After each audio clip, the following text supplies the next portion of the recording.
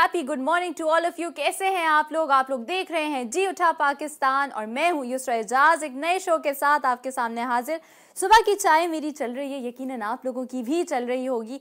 और ज़बरदस्त किस्म की आज मॉर्निंग है और इसी ज़बरदस्त मॉर्निंग में वेलकम करते हैं हमारी शो की शेफ़ को, शाकरा फरहान। आ जाइए शाकरा कैसी हैं आप? वालेकुम गुड मॉर्निंग अस्सलाम, युसरा एंड सुबह बखैर ज़िंदगी सबको बहुत बहुत। क्योंकि आज सुबह जो होती है ना, हर सुबह जो होती है। आज की सुबह ही नहीं, हर सुबह जो भी होती है, आपके लिए बड़ी प्लेजेंट होती है। अच्छे से वही स्माइल आपने करनी है मुस्कुराना हाँ, है और शाकरा ने बताया था स्माइल करके उठा करें। और सबसे पहले वो कहते हैं कभी कभार आपने वो सुना है पता नहीं सुबह मैंने किसका मुँह देख लिया जितना बुरा दिन गुजरा लेकिन ज़्यादातर लोग जो है ना सुबह अपना ही मुँह देखते हैं तो हँसते मुस्कुराते जो है ना जब आप ब्रश करने जाते हैं तो स्माइल करके जाया करें बिल्कुल क्योंकि अच्छा सारा दिन आपका बहुत अच्छे से गुजरता है और बहुत जिसे कहते हैं ना पॉजिटिव वाइब्स आ रही होती हैं आपके लिए। और लेकिन आज एक बात कहनी पड़ेगी युसरा आज आप बहुत प्यारी लग रही हैं। अरे आज आप भी बहुत प्यारी लग रही हैं and thank you so much आपकी तारीफ़ करने का बहुत शुक्रिया। आज हम दोनों का वार्ड्रोब जो है वो रंगरेजा से है और बहुत ही ज़बरदस्त किस्म के हमारे जो है ना वो कपड़े हैं। इनका भी सूट मुझे बहुत अच्छा लगा है। व्हाइट एंड पीस का जो कॉम्बिनेशन है रंगरेजा के सारे ही कपड़े बहुत अच्छे हैं क्योंकि रंगरेजा डिज़ाइन ऐसे करता है क्योंकि पर्सनली मुझे भी बहुत पसंद है। बहुत अच्छे लग रहे होते हैं। बिल्कुल क्या क्या है आज यूसरा आपके पास? भाई आज इन्होंने मुझसे पूछ ही लिया। मैंने कहा था कि मैं नाराज़ ना हो जाए। नाराज़ हो आपने मुझसे फिटनेस इतनी क्योंकि तो मुझे ये डर था कि यूसरा फिर से नाराज़ ना हो जाए और मैं नाराज़ नहीं करना चाहती यूसरा को। अच्छा आज बड़ी इंटरेस्टिंग हमारे पास फिटनेस टिप है। और आ, क्या आपको पता था पानी पीने से वेट लूज हो सकता है? हाँ बिल्कुल मुझे पता था क्योंकि पानी ऐसी चीज़ है। एक्सपर्ट है ना देखे। एक्सपर्ट नहीं थोड़ी सी इन्फॉर्मेशन आपको अब नेट के थ्रू इतनी मिल रही होती है कि आप सब चीज़ें जान रहे होते हैं और देख रहे होते हैं और मुझसे ज़्यादा शायद हमारे नाजरीन को भी पता होगी ये बात। लेकिन हम फिर भी आपके साथ शेयर करें ताकि आपकी नॉलेज में मजीद इजाफा हो कि ये आपके लिए कितना अच्छा है और कितना फ़ायदेमंद है सिर्फ़ पानी। और पानी को कैसे और आप यमी बना सकते हैं हाँ, और इंटरेस्टिंग भी बना सकते हैं। ना दिल नहीं कर रहा होता पानी पीने का। मेरा खुद का भी होता है कि भाई नहीं मुझे पानी बार बार नहीं पी सकती मुझे मेरे मुँह का टेस्ट खराब खराब हो जाएगा। अच्छा बताएँ पानी डिटॉक्स वाटर करते हैं? अब मैं बता रही हूँ ना आपको कैसे यमी कर सकते हैं? रूह अफजा नहीं मिलाना है आपने। नहीं नहीं रूह अफजा बिल्कुल नहीं मिलाइएगा कुछ ऐसे नहीं मिलाइएगा कुछ नहीं मिलाना है। आपने सिर्फ़ सीज़न में जो फ्रूट्स अवेलेबल है जैसे एप्पल हर सीज़न में हाँ, मौजूद होता है। उसको आपको एक पूरा कट करके जो भी आप डिटॉक्स वाटर बना रहे हैं जैसे कि उसमें मिंट लीव्स हैं लाइम है और उसी के साथ आपके साथ जिंजर यानी अदरक का टुकड़ा लाजमी होता है। उसके साथ उसके टेस्ट थोड़ा सा आपके लिए बिटर हो जाता है। तो हाँ। उसमें कोकैम्बर भी होता है खीरा भी होता है मौजूद तो लिहाजा उसमें आपने एप्पल यूज़ कर लिया। स्ट्रॉबेरी सीज़न में है या तो आप स्ट्रॉबेरीज डाल दें ऑरेंज सीज़न में है वो भी डाल सकते हैं। तो उनका कलर भी इतना बहुत फाइन होता है फिर दिल लेकिन ये सारे पानी आपके लिए इतने फ़ायदेमंद है। सारा दिन आप पीते रहें और आपका मेटाबॉलिज्म भी कंट्रोल में रहता है। मतलब हर चीज़ जो है ना परफेक्टली होने लगती है क्योंकि पानी है ही चीज़ ऐसी। बिल्कुल बिल्कुल पानी है ही चीज़ ऐसी आपका मेटाबॉलिज्म भी तेज करेगा। दूसरी चीज़ जो पानी पीने से वेट लॉस क्यों होता है, वो ये भी है कि भाई पानी पीने से आपकी जो बॉडी में टॉक्सिन्स है ना, वो रिलीज़ होने लगते हैं। जितना ज़्यादा आप पानी पियेंगे, उतना ज़्यादा आपके टॉक्सिन्स जो है वो रिलीज़ होते रहेंगे और जब वो रिलीज़ हो रहे होंगे तो ज़ाहिर है आपकी बॉडी में फैट बर्निंग प्रोसेस और डिटॉक्सिफिकेशन का प्रोसेस भी तेज़ हो जाएगा। दूसरी चीज़ ये भी है कि पानी पीने के साथ साथ अगर आप खाने से पहले जो है ना, अगर आप दो तीन ग्लास पानी पी लें और जब आप ये दो तीन ग्लास पानी पी लेते हैं तो क्या होता है कि आपका स्टमक जो है वो फुल हो जाता है और जब स्टमक थोड़ा सा फुल हो जाता है तो ऑटोमेटिकली आप कम खाते हैं। एक और चीज़ लोगों को जिम जाते हुए, ये मेरे साथ भी मसा यकीन आप लोगों के साथ भी होता होगा जो जिम जाते हैं रेगुलरली कि जिम जाने से आपकी बॉडी में क्रैम्प्स पड़े होते हैं खिंचाव हो रहा होता है हाथों के अंदर पैरों के अंदर वो भी वाटर डेफिशिएंसी की वजह से हो रहा होता है डिहाइड्रेशन की वजह से लेकिन यूसरा सबसे अच्छी बात ये होती है इन पानी की क्योंकि पानी आप जैसे बता रही थी कि वाटर हम्म। का इतना ज़्यादा इंटेक करना आपके लिए फ़ायदेमंद इस तरीके से होता है कि आप जितना पानी पी रहे होते हैं वो आपकी सारी स्किन जो होती है ना स्किन प्रॉब्लम्स जो स्पेशली होती हैं हाँ, आप कह रहे होते हैं हमारी स्किन ग्लो नहीं कर रही है और बहुत ज़्यादा ड्राई हो रही है या जो भी प्रॉब्लम हो रहा होता है लेकिन अगर आप पानी का इस्तेमाल करते हैं तो फॉरन ऑटोमेटिकली वो रिलीफ मिलना। और साथ साथ वेट भी लूज करता है। वेट लूज करते हैं। सारी किस्म की स्किन प्रॉब्लम्स जो है ना उससे आप जो है कहते हैं कि आप ठीक हो जाते हैं सब सही हो जाता है। एक्नी भी कम करती है पानी क्योंकि ज़ाहिर टॉक्सिन्स रिलीव रिलीव करिए ना आपकी बॉडी से। तो एक्नी भी कम होती है फिर उसके बाद यही मैं आपको बताई थी कि जिम अगर आप जाते हैं आपको क्रैम्स का शिकार हैं तो आप वाटर इनटेक ज़्यादा कर दें तो फिर वो क्रैम्स भी नहीं आपको पड़ते। और ये वैसे एक रिसर्च कहती है कि आपको आठ से दस ग्लास पानी पीना चाहिए लेकिन हम्म। मैंने रिसेंट रिसर्च जो पढ़ी है ना उसमें ये लिखा था कि आठ से दस ग्लास ज़रूरी नहीं होता। हर किसी की वाटर नीड जो है ना वो उनके ओन होती है। और पर्सनलाइज होती है और जितना आप पानी पीने की आदत डालेंगे आप क्योंकि अगर आप किसी बच्चे को अगर कहें कि आठ ग्लास पानी पिए या दस ग्लास पानी पिए तो उसके लिए बहुत ज़्यादा डिफ़िकल्ट है। तो लिहाजा वो एज वाइज आपका बढ़ता रहता है और बाज़ बच्चे वाकई बहुत पानी का इस्तेमाल करते हैं वो तो बहुत अच्छी चीज़ है और बहुत खुश आइन भी होगी आपके लिए कि हाँ सही बात है कि बच्चा बिल्कुल सही जा रहा है और उसकी जितनी प्रॉब्लम्स होंगी वो भी सॉल्व हो जाएँगी लेकिन उसी के साथ अब ये बताइए आज हम स्टार कौन सा डिस्कस करने जा रहे हैं? अच्छा भैया आज जो हम स्टार डिस्कस करने जा रहे हैं वो है टॉरस टॉरस जो है ना उसका जो सिंबल होता है वो बुल का होता है और आपकी फैमिली में कोई टॉरस है वैसे? कोई टॉरस आपकी फैमिली में है? हाँ हाँ बहुत सारे मेरे कज़न हैं और सारी चीज़ें मतलब देखें फैमिलीज़ में सारे स्टार्स मौजूद होते हैं। हम्म। ये आप नहीं कह सकते कि ये स्टार नहीं है आपके पास लेकिन बहुत, बहुत सारे फनकार भी बहुत मौजूद होते हैं फैमिलीज़ में। तो टॉरस के बारे में जब हम बात करें तो टॉरस का एलिमेंट जो है वो अर्थ होता है। उनकी पोलैरिटी जो कहते हैं यानी कि उनकी जो उस स्टार की जो तासीर होती है जिस तरफ़ वो जा रहे होते हैं वो नेगेटिविटी की तरफ़ जा रहे होते हैं। लेकिन नेगेटिव का मतलब ये नहीं है कि वो मतलब नेगेटिव लोग होते हैं उसका उसका मतलब है कि उसकी चार्ज जो है वो नेगेटिव होती है। दूसरा, उनका रूलिंग प्लानट जो है ना, वो वीनस होता है और अगर उनका रूलिंग हाउस कहें तो वो दूसरा हाउस होता है। स्पिरिट कलर उनका पिंक होता है। अब देखें कितनी अजीब सी बात है, उसका साइन बुल का है तो मुझे लगता था स्पिरिट कलर रेड होना चाहिए या रेड के उसमें होना चाहिए, लेकिन पिंक है। पिंक है और यही उनके लिए बहुत ज़्यादा प्लेजेंट हो जाता है कि पिंक शेड जो है उनको इनहेंस करता है ब्यूटी की तरफ़ लेकर आता है। और साथ साथ इनको गुस्सा जरा ज़्यादा आता है गुस्सा जरा ज़्यादा आता है लेकिन जो है यही पिंक कलर उनको जो है थोड़ा सा इनहेंस करता है उनकी सारी चीज़ों को कवर अप करने के लिए। लेकिन बहुत अच्छा स्टार है बहुत ज़बरदस्त पर्सनालिटी के लोग अच्छा, होते हैं। ज़बरदस्त किस्म की बात ये कि टॉरस के जितने भी लोग होते हैं ना वो बड़े ही एम्बिशियस होते हैं। मतलब उन्होंने कुछ सोच लिया ना करना है तो ये करना है। मैंने खुद मेरे हम्म। मामू टॉरस हैं तो मैंने देखा। और पढ़ाई में सब बहुत अच्छे होते हैं भाई पढ़ाई में बहुत अच्छे होते हैं। मेरे मामू ने खुद ने यंगेस्ट चार्टर्ड अकाउंटेंट थे। अपने टाइम पे जब उन्होंने चार्टर्ड अकाउंटेंसी के एग्ज़ाम्स दिए थे। तो पढ़ाई में बड़े तेज होते हैं। मेरे देखिए और ये भी होता है ना जितने भी स्टार्स हमारे गिर्द होते हैं जैसे हम डिफरेंट स्टार्स के लोग हैं लेकिन अपनी पर्सनालिटी अपनी स्टार के हिसाब से ज़रूर होती है कि जो आपका स्टार होता है वो ज़रूर आपको बता पता चल जाता है कि ये रिफ्लेक्ट कर रहे होते रिफ्लेक्ट कर रहा होता है। और वो सारी चीज़ें पता चल रही होती है लेकिन आप खुश रहिए क्योंकि आपका स्टार के बारे में आज डिस्कस हो रहा है जिसके भी टॉरस स्टार के जितने भी लोग हैं उनके बारे में डिस्कस हो रहा है। तो उनके लिए पॉजिटिव बात ये है कि आप बहुत अच्छे से जो है ना पूरा दिन गुजारिए बहुत अच्छा सा प्लेजेंट सा आज दिन भी रहेगा आपका। बहुत अच्छा दिन है आपके लिए। आज आप कोई काम करना चाहें कारोबारी हवाले से वो भी आपके लिए बहुत अच्छा रहेगा। लेकिन दूसरी बात ये है क्योंकि मंथ ऑफ़ पाइसिस है क्योंकि पाइसिस स्टार के भी हवाले से हम आपको बताते चलेंगे क्योंकि हाँ। जो है आप खाने पीने में एहतियात कीजिए और बाहर का खाना थोड़ा सा अवॉइड कीजिएगा आज। हाँ अच्छा वैसे ये क्यों? आपने कहाँ पे पढ़ा कि बाहर का खाना कहाँ पे पढ़ा? ये भी हमने गूगल आज तो मैं कहती हूँ कि बाहर का खाना आजकल हर किसी को अवॉइड करना चाहिए अवॉइड करना हमारे पास मसाइल exactly. आपने वो देखा है कि हमारे पास जो अल्लाह माफ़ करे वो जो टाइफाइड डिजीजेस आ रहे थे और ये सब चल रहा था वो इनक्योरेबल आ रहे थे बच्चों के पेट में एकदम से स्टमक में दर्द होना पानी से भी हो रहा था बहुत आप एहतियात कीजिए और पानी के लिए भी कहा गया है कि आप किसी भी ब्रांड का पानी इस्तेमाल करें लेकिन उसको आपने बॉईल करके इस्तेमाल करना है। अल्लाह ताला वैसे तो सबको अपने हिफ्जमान में रखे और किसी भी तरह से किसी भी किस्म की कोई परेशानी का सामना ना करना पड़े और सारा दिन बहुत बहुत अच्छे से और खुश बाश और जी उठा पाकिस्तान देखने से आपका दिन बहुत अच्छा गुजरे। बिल्कुल बिल्कुल। अच्छा ये बताएँ कि आपका जनरली आज दिन का प्लान क्या है? क्योंकि हमेशा हम लोग ये कहते हैं कि दिन के प्लान कुछ प्लान करना चाहिए, दिन का आगाज़ किसी तरीके से करना चाहिए। एक टू डू लिस्ट बनानी चाहिए, क्योंकि अगर आप एक टू डू लिस्ट बनाएँगे तो आप जो है ना, वो एम्स और अपने एम्यूनिशन जो चाहते हैं एम्बिशन जो चीज़ करना चाहते हैं, वो आप लिस्ट डाउन कर देते हैं तो वो आसान हो जाता है। एक टिप आपके लिए ये भी है कि आसान हो जाता है आपके लिए फिर वो करना तो लिस्ट डाउन ज़रूर कीजिए किया करें चाहे आप अपने दिमाग में करें या चाहे आप लिख के कर रहे हो। थोड़ा बहुत अगर लिख लेंगे कि ये ये करना है तो आसान हो जाता है। तो आज आपने क्या क्या करना आज मैंने क्या क्या करना है? क्योंकि आज सारे काम काफ़ी प्रिपेयर होकर आई है काफ़ी सारी चीज़ें भी लेकर आई मैं बिल्कुल भी प्रिपेयर इस तरह से होके आई क्योंकि जो है दिलकश का हमने आज केक कट करना है। तो इस वजह से आज ज़रा थोड़ा सा हमने थोड़ा सा इसके लिए थोड़ा सा एहतमाम किया है ताकि उसका दिन बहुत अच्छे से गुजरे हमारे लिए इतना करती है वो। तो हमने थोड़ी सी एफर्ट्स किए उसके लिए। वो था हम्म। फिर दूसरा ये कि शो की रिकॉर्डिंग भी है साथ साथ दूसरी चीज़ें भी आज आज बिज़ी दिन है लेकिन उसी के साथ आपने अपनी फैमिली को भी टाइम देना होता है। ये मत अच्छा, भूलें आप।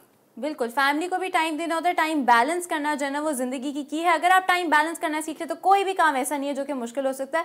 कल हमारे शो पे डॉक्टर बेग जो आए थे, वो भी बता रहे थे कि भाई टाइम बैलेंस करना क्योंकि माशाल्लाह से इतनी सारी चीज़ें उन्होंने की हुई हैं तो वो यही कह रहे थे कि टाइम जो है ना वो आपको बैलेंस करना, चीज़ों में बैलेंस लाना जो है ना, वही बहुत ज़रूरी होता है।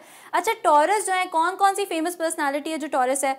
क्रिस ब्राउन है डवेन जॉनसन द रॉक जिनको हम कहते हैं एडेल जो सिंगर हैं और ऑडी uh, हेम्पवर्क जो कि बहुत ही ज़बरदस्त हमारी जो है ना क्लासिकल एक्ट्रेस रही हैं। ब्रेकफास्ट एट टिफिनीज अगर आप लोगों ने देखा तो उनकी मूवी थी। तो ये सारे लोग जो हैं वो आ, सब टॉरियन हैं और आ, सब टॉरस स्टार के हैं। तो टॉरस स्टार के बारे में तो हमने काफ़ी सारी चीज़ें आपको बता ये बताइए आज बर्थडे किसकी है? ये ही मैं वेट कर रही थी कि शाकरा पूछेंगी। ये बताइए आज बर्थडे किसकी है? गैस कर सकते हैं बड़ी फ़ेमस एक्ट्रेस है हॉलीवुड की। नहीं अब नहीं गैस कर सकती अब नहीं गैस कर सकती। अच्छा जी आज बर्थडे है काया रोज की। काया रोज को आप लोगों ने देखा है पायरेट्स ऑफ़ द कैरेबियन में। उसके अलावा द मेज रनर में भी आपने देखा है। तो हैप्पी बर्थडे टू यू काया रोज। वी होप के ज़िंदगी आपको इसी तरीके से सक्सेस दे बहुत सारी खुशियाँ दे। आमीन सो आमीन। क्या कहना चाहेंगे काया रोज की बर्थडे पे? Happy birthday and you have many more birthday with good health and happiness इनशाला आपको और सक्सेस मिले अपनी ज़िंदगी में। बिल्कुल, आमीन सुम आमीन अच्छा उसी के साथ हमारे पास एक बहुत ही मशहूर और मारूफ टैलेंटेड मेहमान है। उनसे भी आपकी बात कराएँगे थोड़ा सा डिस्कशन करेंगे। अब क्लोज एंड पर्सनल आज हम जानेंगे उन्हें ज़रा हटके जैसे आप लोगों ने देखा हुआ है उस तरीके से नहीं लेकिन थोड़ा सा डिफरेंट उनको डीपर जाकर ना उनकी पर्सनैलिटी में देखेंगे कि कैसे हैं और जीवता की खूबी यही है। यूसरा कि यहाँ सबको अपने दिल की बात कहने का मौका मिलता है। हाँ। बहुत जाने के और जानने का भी बिल्कुल बिल्कुल एब्सोल्युटली लेकिन इन सारी चीज़ों से पहले हमें लेना है एक छोटा सा ब्रेक तो कहीं नहीं जाइए जाइए एक ब्रेक पर, उसके बाद हमें ज्वाइन कीजिए। कॉफ़ी के मग के साथ देखते रहें जी उठा पाकिस्तान।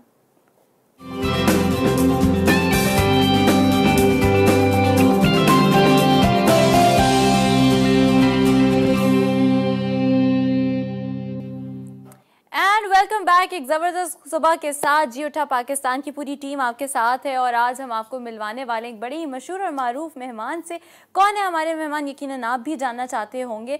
तो जल्दी से ज़्यादा जो है ना, आपको इंतज़ार नहीं कराते, ज़्यादा सस्पेंस नहीं क्रिएट करते। आपको बताते हैं कि हम जिस शख्सियत शख्सियत से आपको मिलवाने जा रहे हैं माशाल्लाह से उन्होंने इतनी सारी चीज़ें मतलब अचीव की हैं, इतनी सारी चीज़ों में कहते हैं ना कि ये भी कर लूँ, ये भी कर लूँ, ये भी कर लूँ, ये भी कर लूँ। बड़ी वर्सेटाइल पर्सनैलिटी है, हाथ डाला है बहुत सारी चीज़ों में और अल्लाह ताला ने उनको बरकत भी दी है उन चीज़ों में।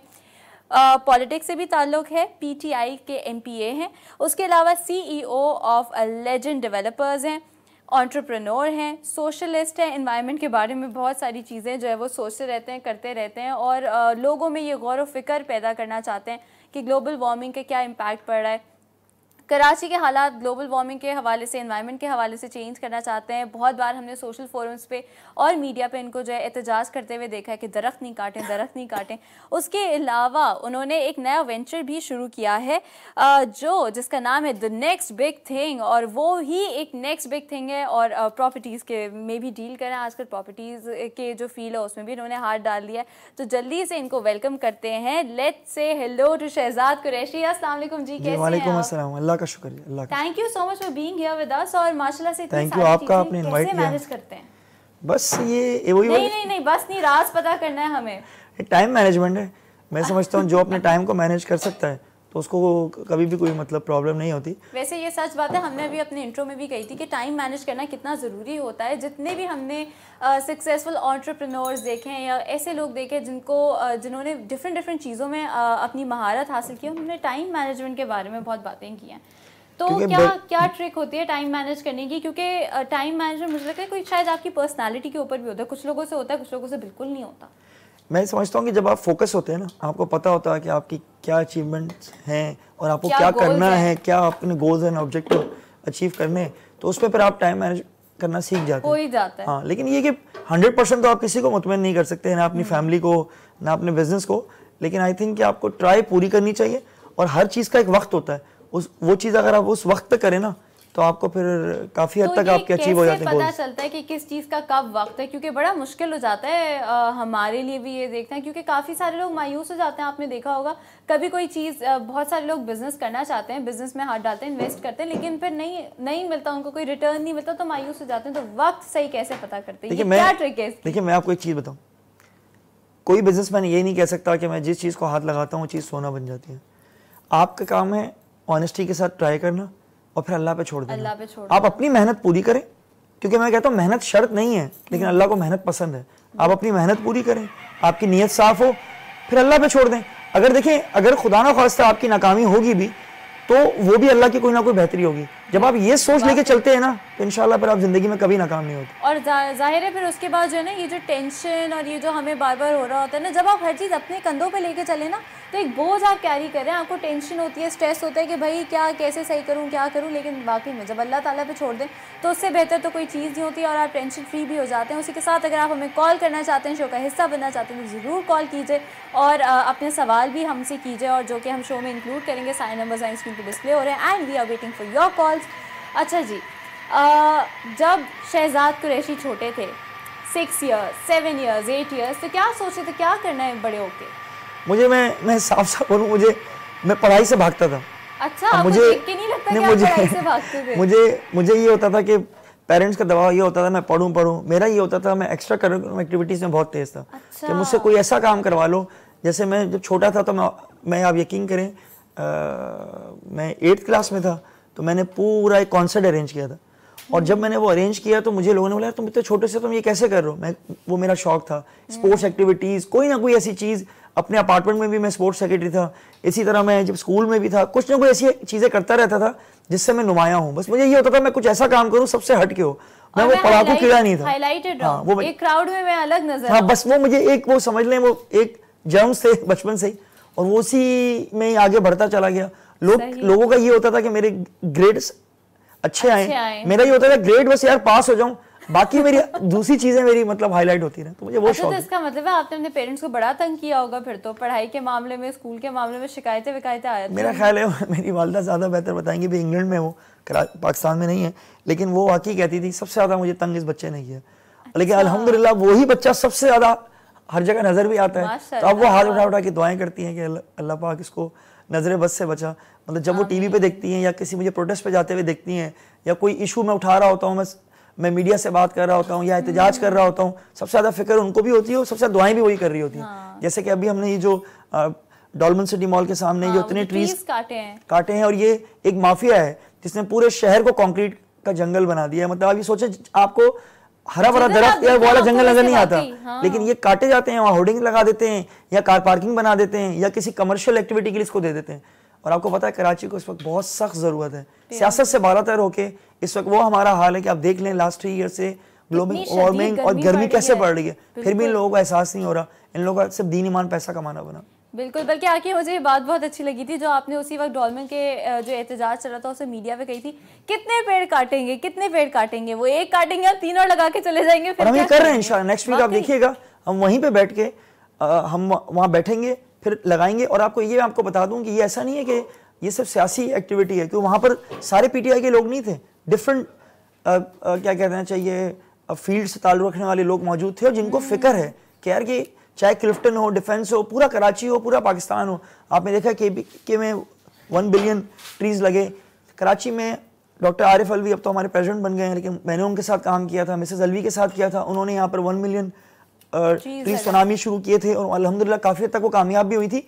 ये सबको मतलब ये एक्टिविटी करनी चाहिए। किसी भी पॉलिटिकल पार्टी से हो किसी भी फ़ील्ड से हो हाँ। सबको आगे आना चाहिए। आखिरकार हाँ। शहर भी हमारा और मुल्क भी हमारा देखिए आप जो ये सारी चीज़ें आप आप जिस जगह पे बैठी हुई हैं आपकी इतनी बड़ी रिस्पॉन्सिबिलिटी है। आपकी कितने आपके चाहने वाले हैं कितने आपके फैंस हैं। अगर आपके कहने के ऊपर दस दरख्त भी लग जाते हैं मतलब प्लांटेशन हो जाती है तो आप सोचें आपके लिए भी सदका जा रही है। तो इसको आप सवाब समझ के करें तो मेरा ख्याल है लोगों में अवेयरनेस बहुत जल्दी मतलब एब्सोल्युटली एब्सोल्युटली बिल्कुल ये बात सच है। और जितने भी लोग घर पर भी देख रहे हैं तो ज़रा एक दो जाके ट्रीज़ लगा लें क्या होता है? वो ज़्यादातर वैसे उनको इतनी मेंटेनेंस की भी ज़रूरत नहीं होती। आप डाल डाल दें वो छोटा पौधा जब उग जाएगा तो उसके बाद वो खुद ही ग्रो होता रहता है। तो ये तो है बिल्कुल इस काम को हमें करना चाहिए। अच्छा ये इन्वायरमेंट पे इतनी गौर व फ़िक्र कैसे डेवलप हुई? देखिए हमारी देखिए मैं दो टेन में मैं पीटीआई में आया था। और मैं तो कॉर्पोरेट जॉब करता था मेरा ताल्लुक भी मीडिया से था। तो मैं जब गया लोगों ने बोला पागल हो सियासत में क्या करो? तुम्हारे ऐसे लोगों का क्या काम? मैं कहा जब तक हम लोग ड्राइंग रूम में बैठ के गॉसिपिंग करते रहेंगे सिर्फ़ बातें करते रहेंगे उस तब तक कोई हल नहीं निकलेगा. कोई चेंज नहीं जब हम इस तरफ़ आए तो मुझे याद पड़ता है कि फ्लड आया था 2010 के अंदर। जी बिल्कुल। उस पर मैंने हेल्प एना बॉक्स करके एक छोटी सी हमने एक एक्टिविटी शुरू की थी और वो बाद में इतनी बड़ी एक्टिविटी बन गई थी कम से कम one thousand students from different universities वो सारे के सारे मेरे साथ मिलकर उन्होंने काम किया था। उसके बाद से मेरे जहन में आ गया था अगर आपकी नीयत साफ़ हो आप सही मकसद लेके निकले लोग आपकी हेल्प करते हैं। तो अब हमारा ये था कि कचरी हर जगह कचरा कचरा कचरा कचरा हर तरफ़ कराची को कचराची बोलना शुरू कर दिया था। के पास भी सफ़ाई जी जी तो हमारा दुख ये होता है कि अगर हम खुद एक्टिविटी करें लोगों को इन्वॉल्व करें देखिए कुछ लोग पॉलिटिक्स में इन्वॉल्व होना चाहते हैं कुछ लोग नहीं होना चाहते। जो लोग नहीं होना चाहते उन्हें हम इस तरह की एक्टिविटीज़ में इन्वॉल्व करें तो शहर में बेहतरी आ सकती है। हमने बीच क्लीनिंग की हमने अपनी ट्रॉलीज खरीदी हैं जिससे हम डेली बेसिस के ऊपर हम सिंध गवर्नमेंट पर अब हम हमें कोई उम्मीद नहीं है तो हम यही करते हैं कि खुद ही कचरा उठाते हैं खुद ही पानी का कोई बंदोबस्त कर रहे हैं आर प्लांट्स लगा रहे हैं फ़िल्टर प्लांट्स लगा रहे हैं क्योंकि हम ही अपोजिशन में हैं सिंध में। तो हम्म। हमारी पूरी कोशिश ये है कि हम ये ना बोले हम कुछ नहीं कर सकते तो at least we are trying our level best let's see कि किस हद तक कामयाब होते हैं। बिल्कुल अच्छा एक चीज़ जो मैं पीटीआई के रिप्रेजेंटेटिव्स के बारे में मुझे जो अच्छी लगती है वो ये है कि वो खुद जाके काम करते हैं चाहे फिर शहजाद साहब हों या आलमगीर साहब हों या जितने भी हमारे लोग हैं वो खुद जाते हैं और ग्राउंड पे जाके खुद काम करते हैं। उसके बाद वो दूसरों को कहते हैं कि आप भी करें। ये होता है सेटिंग एन एग्ज़ाम्पल और फिर उसके बाद लोगों का इम्प्लीमेंट करें जो कि बहुत अच्छी बात है। इसी बात पे कॉल लेते हैं। देखते हैं कौन है हमारे साथ। असलम वालेकुम। कैसे बात कर। रहा हूँ बिल्कुल ठीक ठाक। याया आप कैसे हैं? अलहमदुल्ला शहजाद भाई को भी सलाम हो। आप लोगों का जो इंट्रो था ना वो बड़ा ज़बरदस्त था। इसलिए कि उसमें आपने पानी की बात की टाइम मैनेजमेंट की बात की। लेकिन टाइम मैनेजमेंट ये सिर्फ़ नहीं होता कि आप कौन से टाइम पे क्या काम कर रहे हैं। टाइम मैनेजमेंट ये भी होता है कि किस वक्त आपने क्या बात करनी है। अगर वो बात नहीं करेंगे तो आपकी ज़िंदगी बड़ी तल्ख हो जाती है तो टाइम मैनेजमेंट बनी और जिस आए मुझे इस बात पे कोई शर्म नहीं है कि मैंने अपनी ज़िंदगी में बहुत कुछ खो दिया टाइम मैनेजमेंट ना करने के बाद। तो लोगों से मेरी दरखास्त है कि अपनी टाइम मैनेज करना सीखें। Time is money time is the all the game तो अगर आपने टाइम मैनेज किया तो अब काम खराब हो जाएगा। अब क्योंकि शहराज भाई बैठे हुए हैं और मैं तो apart from all the political views बात ये होती है कि जब कोई अच्छा काम कर रहा होता है ना तो उसको अप्रिशिएट करना चाहिए क्योंकि ज़ाहिर है अगर इन्वायरमेंट के हिसाब से काम कर रहे हैं तो पीटीआई तो काफ़ी पौधों की बात करती है इन्वायरमेंट की बात करती है तो ये बहुत बड़ा फ़र्क है। शहजाद भाई से एक तो एक तो मुझे ये कहना है कि देखिए हमारे बहुत सारे दरख्त लगे हुए नॉर्थ अजमान में सेंट्रल के इलाके में बहुत सारे। हम्म। इनको बचाना हमारा फ़र्ज़ है। ये लोग दरख्त कटिंग हो रहे बेहतरीन दरख्त लगे हुए फ़ेज़ टू में डिफेंस में लगे हुए ये ऐसे दरख्त हैं जो आपका कीमती असाता है। यकीन करें जिस तरह ऐसे दरख्त हैं डिफेंस फ़ेज़ टू के अंदर कि जो आपको फल जैसे जंगल जलेबी हो गया बहुत बहुत सारी चीज़ें यानी जो आपको नॉर्मली नज़र नहीं आती। ये रोडों पे लगे हैं। इसको प्रोटेक्शन करना बहुत ज़रूरी तो एक तो इनसे दरखास्त है कि इसके लिए प्लीज़ थोड़ा सा काम करें।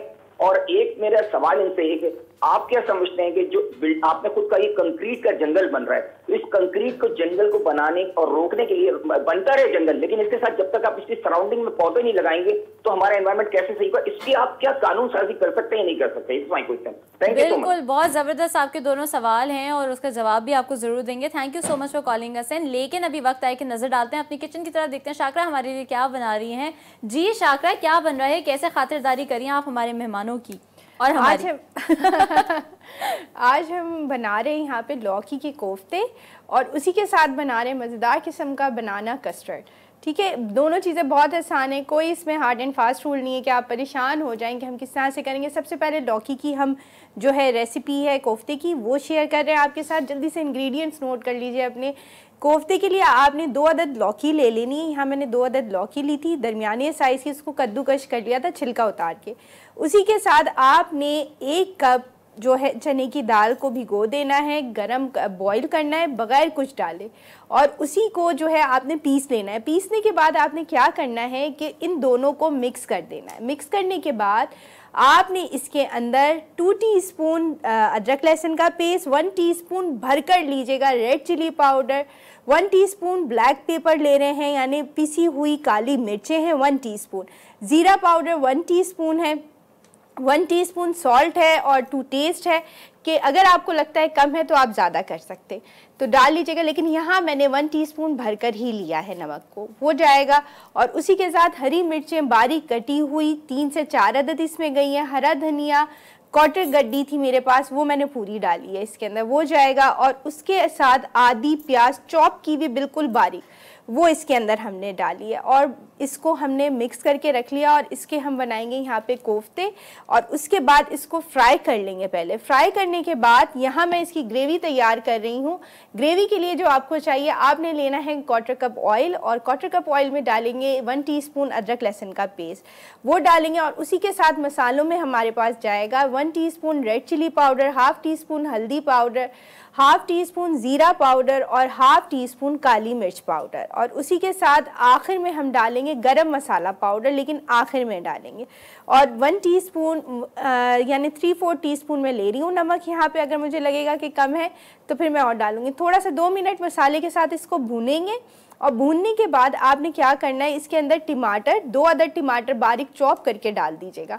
वो हम डालेंगे, आप चाहें तो ब्लेंड भी कर सकते हैं। वो हम इसमें डालेंगे और इसकी ग्रेवी बनाना शुरू करेंगे। हाफ़ कप दही जाएगा इसके अंदर और उसके साथ मसाला अच्छा सा, जब पाँच से छः मिनट भुनेंगे आप, उसके बाद इसके अंदर हम पानी ऐड करेंगे, हरी मिर्चों को ऐड करेंगे और ये कोफ्ते उसमें डाल के तकरीबन दस मिनट के लिए आप हल्की आँच पे रख के छोड़ देंगे। और उसके बाद निकालिएगा मज़ेदार किस्म के बनेंगे। ऊपर से गार्निशिंग आप कर सकते हैं, हरी मिर्च, हरे धनिए की। साथ जो मीठा बन रहा है, बनाना कस्टर्ड बहुत सिंपल है। आपने क्या करना है? आपने बनाना कस्टर्ड फ्लेवर का आपने ले लेना है कस्टर्ड और उसको क्वार्टर कप दूध के अंदर मिक्स करके रख लेना है, तकरीबन फोर टीस्पून वो आप रख लेंगे मेरे पास यहाँ वन के जी मिल्क है। उसके अंदर से मैंने क्वार्टर कप दूध निकाल लिया था और उसी के अंदर मैं फोर टीस्पून बनाना कस्टर्ड डालूँगी। और उसी के साथ आपने क्या करना है, दूध को बॉईल करना है।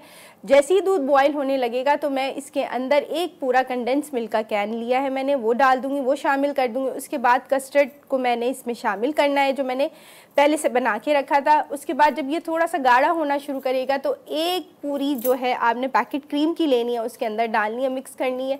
और चूल्हा बंद कर देना है। बनाना मेरे पास यहाँ मौजूद है। बिस्किट का जो है मैंने क्रश कर लिए थे। और आप कोई भी बिस्किट ले सकते हैं। ज़रूरी नहीं है कि मैं आपको जो बताऊँ, आप वो ले रहे हो। आपके ऊपर है कि अगर कोई भी अच्छा लगता है, इसमें बनाना बिस्किट सबसे बेस्ट लगते हैं, लेकिन मुझे आप चाहें तो कोई भी ले सकते हैं। आखिर में हम गार्निशिंग जो करेंगे, वो उसकी वेफर्स के साथ कर रहे हैं और बिस्किट के साथ करेंगे और बनानास। और कुछ भी नहीं करेंगे और थोड़ा सा हम क्रीम के साथ इसके सेटल डाउन करेंगे और मज़ेदार किस्म का बनाना कस्टर्ड आप फ्रिज में रख के खाइएगा। ठंडा ठंडा वाकई ये बहुत अच्छा लगता है। नहीं वाकई में बड़ा ज़बरदस्त लगता है और जो शाकरा साई डिज़र्ट्स बनाती हैं इवन जो खाने बनाती हैं वो मुझे तो बड़े पसंद आते हैं और पहली बार आज मैंने लौकी के कोफ्ते सुने हैं तो मैं तो बड़ी एक्साइटेड हूँ। बहुत मज़े के बनते हैं दूसरा लौकी अच्छा। है और जो है जिस तरह से जो शलजम के भी जो बनते हैं ना वो अच्छा, भी बहुत मज़े के बनते हैं। शलजम के कबाब भी बनते हैं। अच्छा और बस उसके तो साथ हम शलजम के कबाब भी बनाएँगे इनशाला क्योंकि शलजम के अंदर बतफा या सीज़न में अगर है या तो फिर मेथी वो जाते ज़बरदस्त तो ज़रूर हम लोग ट्राई करेंगे। आपने कभी ट्राई किया है लौकी के कोफ्ते वैसे? मैं तो मेरे ख्याल फ़र्स्ट टाइम सुन रहा हूँ। अच्छा फ़र्स्ट टाइम सुन रहे हैं। नहीं मैंने भी पहली बार सुना है लेकिन बड़ा ज़बरदस्त होगा। यही तो शाकर की बात है यूनिक यूनिक चीज़ें लेकर आती हैं। अच्छा खाने में आपको क्या पसंद है? वैसे सब्ज़ियाँ वगैरह पसंद करते हैं या नहीं? सब्ज़ियाँ यहाँ पे भी कहते हैं पेड़ों को नहीं काटो। नहीं, सब्ज़ी मतलब सब्ज़ी इतनी ज़्यादा मतलब नहीं खाता लेकिन मुझे बिरयानी का बहुत शौक है बस। बिरयानी पसंद बिरयानी मेरी मतलब फेवरेट है। मुझे आप मुझे मतलब मैं खाना खाया हुआ भी हो ना तो और सामने को बिरयानी ला के रख दे तो मैं खाना शुरू कर दूँ। ज़बरदस्त। तो कोई स्पेसिफिक जगह है जहाँ की बिरयानी अच्छी लगती है? आपने वैसे आ, हमारे आ, मुल्क में भी अलग अलग जगहों पे अलग अलग किस्म की बिरयानी मिलती है। मेरा ख्याल है कराची में तो कराची वाली बिरयानी कहलाती है कराची से बाहर तो जिसको बिरयानी कहते हैं वो पुलाव होता है मेरा ख्याल है। मतलब ये ये बात मैं एग्री करती हूँ हाँ। क्योंकि तो कराची की बिरयानी बहुत डिफरेंट बहुत डिफरेंट वो टेस्ट वो चीज़ें और कराची में आपको पता है बिरयानी हाउस है भी ज़्यादा। और डिफरेंट डिफरेंट है मशहूर भी हैं। वैसे और अलग अलग हाँ, तरीके के भी हैं। हमारे यहाँ प्रॉन बिरयानी भी होती है टिक्का बिरयानी भी होती है बिरयानी है आपका बल्कि नली बिरयानी आजकल बड़ी हिट हुई थी बीच नली बिरयानी ट्राई की हाँ जी ट्राई की मुझे तो बहुत अच्छी लगी। अच्छी लगी? अच्छी। हैवी होती है। थोड़ा सा वो डाइट कॉन्शियस लोगों के लिए थोड़ा सा वो हो जाता है लेकिन आई थिंक मुझे तो आप डाइट कॉन्शियस लगते हैं। या आप पे या ऐसे है कि आप पे वज़न नहीं चढ़ता? नहीं मैं बेसिकली मैं शुगर इनटेक होती ही नहीं है मेरी। अच्छा। इसलिए नहीं कि मुझे शुगर है। मुझे शौक ही नहीं है। मतलब चीनी से थोड़ा परहेज करते ये कैसे होता है? ऐसा कैसे होता है? मेरे लिए तो शुगर ये होता है कि बस ज़रूरी है। चाहे एक बाइट भी चॉकलेट खा लो। नहीं मैं चॉकलेट पसंद नहीं करता। मैं कोई मीठा नहीं लेता। कोशिश करता हूँ ना लूँ। लेकिन वो कभी कभी कहते हैं ना कभी कभी कभी क्रेविंग हाँ वो कभी कभी क्रेविंग। ले लिया अदरवाइज़ डेली बेसिस के ऊपर तो मैं चाय के साथ भी मतलब शुगर ये ये कैसे होता है? इसके बारे में हम जानेंगे लेकिन लेंगे एक छोटा सा ब्रेक सबसे पहले उसके बाद ये सारी बातें जानेंगे। देखते रहें जी उठा Pakistan.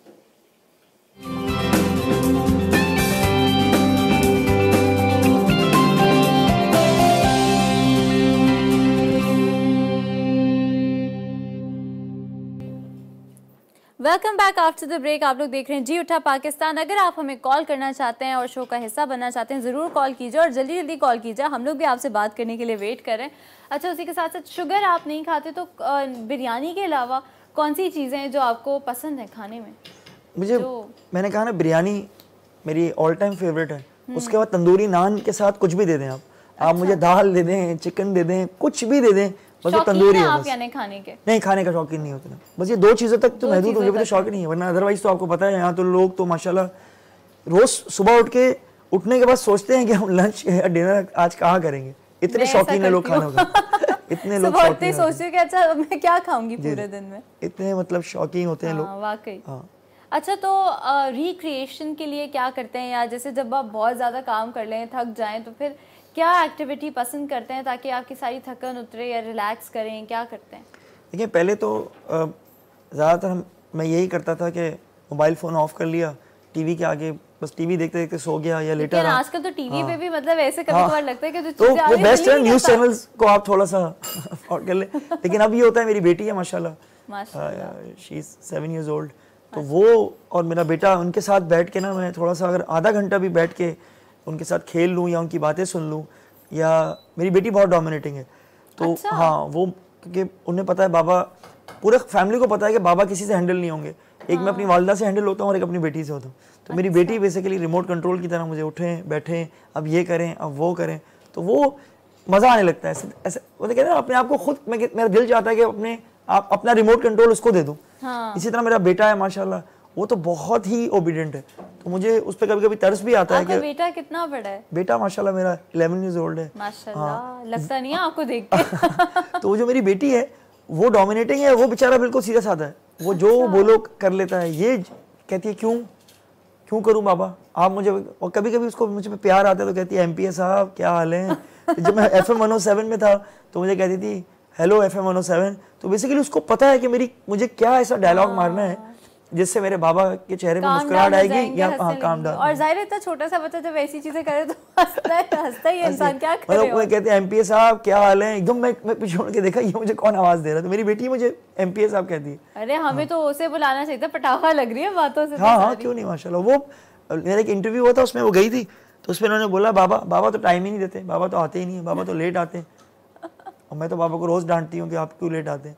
तो मैंने कहा बेटा ये टीवी पे बोलने के लिए नहीं होता नहीं होता। बोलना शुरू कर दिया नहीं ये बच्चे तो ऐसे ही होते हाँ, हैं सच्चे होते हैं ना मन के सच्चे हाँ मन के सच्चे होते हैं और कोई फ़िल्टर नहीं होता उनके अंदर फिर सारी बातें बता देते हैं कुछ भी कहो। अच्छा तो बच्चों के साथ टाइम स्पेंड करते हैं उसके अलावा मतलब क्या एक्टिविटीज़ रहती हैं? आप लोग बच, मतलब बच्चों के साथ वीकेंड पे फिर बाहर जाते हैं या क्या करते हैं? क्योंकि मुझे लगता है आपको टाइम नहीं मिलता मेरी अगर वाइफ से आप पूछेंगे तो मैं बहुत बुरा हस्बैंड हूँ।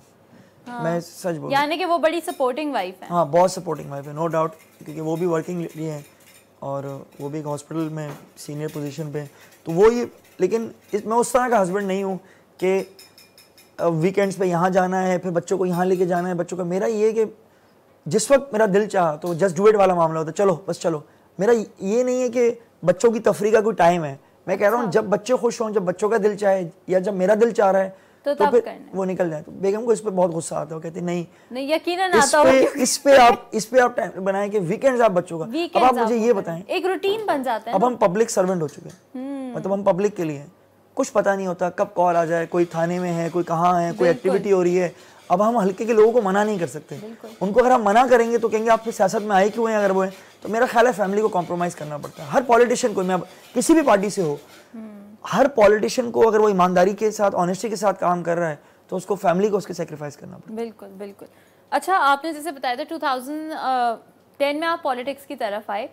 Uh, तो ये स्विच क्योंकि आप जैसे बता रहे थे आपका जैसे रेडियो uh, के साथ ताल्लुक़ रहा है और माशाल्लाह से बड़ी अच्छी पोजीशन पे रहे हैं तो ये स्विच आपने जो किया कितना मुश्किल था क्योंकि किसी के पास एक वेल सेटल्ड जॉब होती है उसके बाद वो या तो एक बिजनेसमैन हो जो हम लोग नॉर्मली देखते हैं ना जो बिजनेसमैन होते हैं वो आराम से पॉलिटिक्स में चले जाते हैं। बिज़नेस आप साथ साथ करें आप ऑन्टरप्रेन्योर तो हैं लेकिन आप उस वक्त तो जॉब कर रहे उस वक्त मैं जॉब कर रहा था। तो आ, कितना मुश्किल था ये स्विच और घर वालों ने सपोर्ट किया था क्या? क्योंकि कोई भी हो तो सबसे पहले तो वो कहेगा भाई क्या सोच सोच के करो ना क्या कर रहे हो? मैं बहुत अच्छी पोजिशन पे था और मैं बहुत अच्छी अर्निंग कर रहा था। और मेरा मीडिया में अलहमदिल्ला बहुत अच्छी रेपुटेशन थी।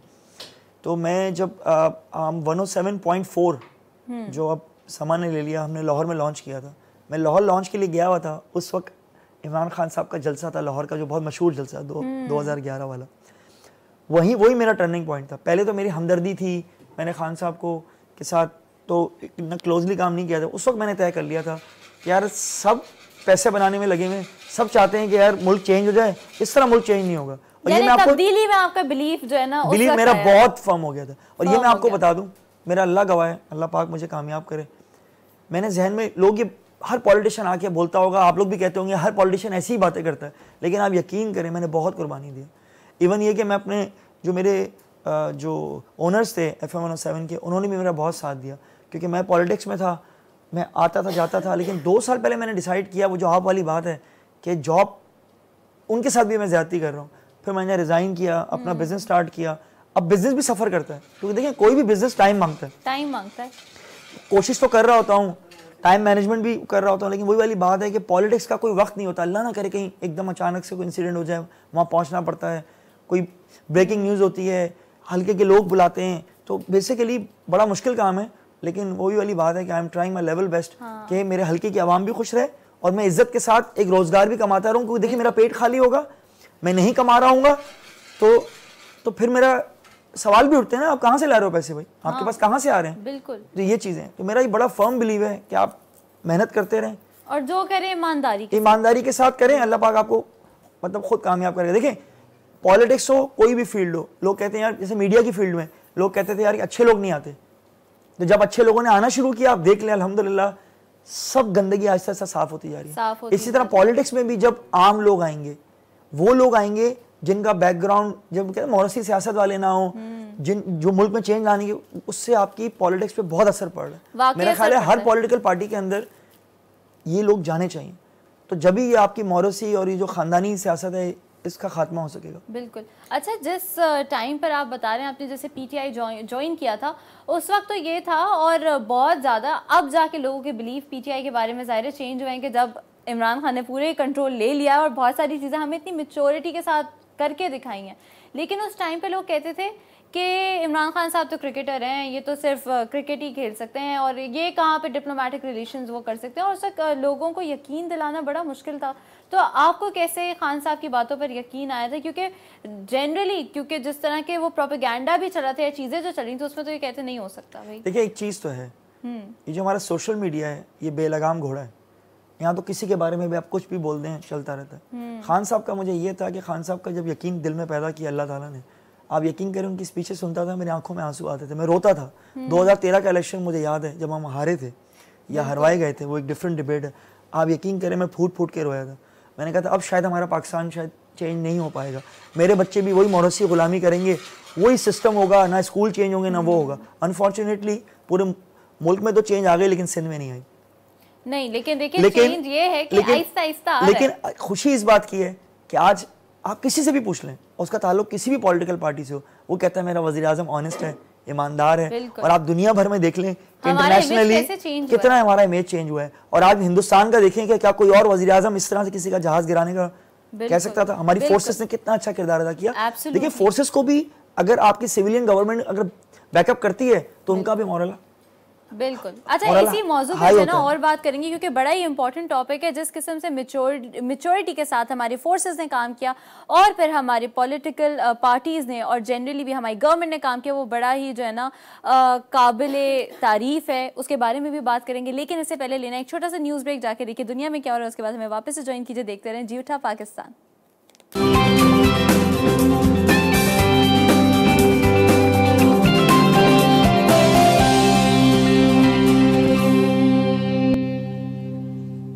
Welcome back. आप लोग देख रहे हैं जी उठा पाकिस्तान। अगर आप हमें कॉल करना चाहते हैं और शो का हिस्सा बनना चाहते हैं तो सारे नंबर्स हमारी स्क्रीन पे डिस्प्ले हो रहे हैं और जल्दी जल्दी हमें कॉल करें क्योंकि हम आपकी कॉल्स का इंतज़ार करें उसी के साथ साथ ये जो हम ब्रेक से पहले बात कर रहे थे, बड़ा इंपॉर्टेंट पॉइंट कि जिस जिस किस्म की मेच्योरिटी से हमारी गवर्नमेंट ने डील किया है सिचुएशन से और हमारी फोर्सेस ने डील किया सिचुएशन से, वो वाकई कमेंडेबल है।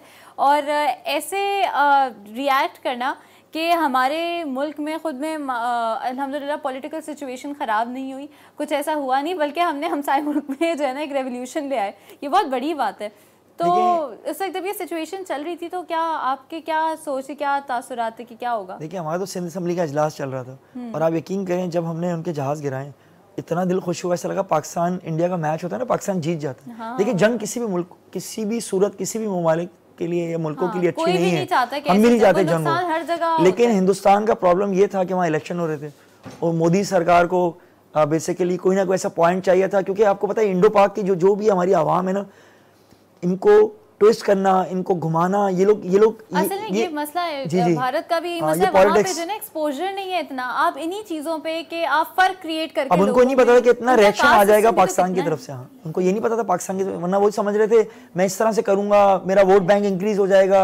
लेकिन ये सोचना चाहिए डेढ़ अरब लोगों की जिंदगियों का मामला है। अगर ये गुर्बत खत्म करनी है ना हमें दोनों मुल्कों का अमन की तरफ़ आना अच्छा होगा और तो कश्मीर का मसला हल करना होगा। दोनों दोनों में फ़र्क भी यही है कि देखिए जो मोदी का सबको सबको उनका बैकग्राउंड भी पता है ना इतना कोई पढ़े कत्ल गारत कुछ। मुसलमानों की कराई गुजरात में कराई आपका मुंबई में कराई कितनी जगह कराई। देखें मेरा ये बड़ा अल्हम्दुलिल्लाह इस बात पे हमें फख्र होता है कि जो हिंदू बरादरी या ईसाई या जो माइनॉरिटी यहाँ पाकिस्तान में कराची में रहती है वो वो फखरिया कह सकती है कि पाकिस्तान में हम ज़्यादा महफूज हैं ना कि हम हिंदुस्तान में। एक मुसलमान या कोई हिंदू भी महफूज है। आप देख लें उनके दलितों का क्या हाल हुआ हुआ है।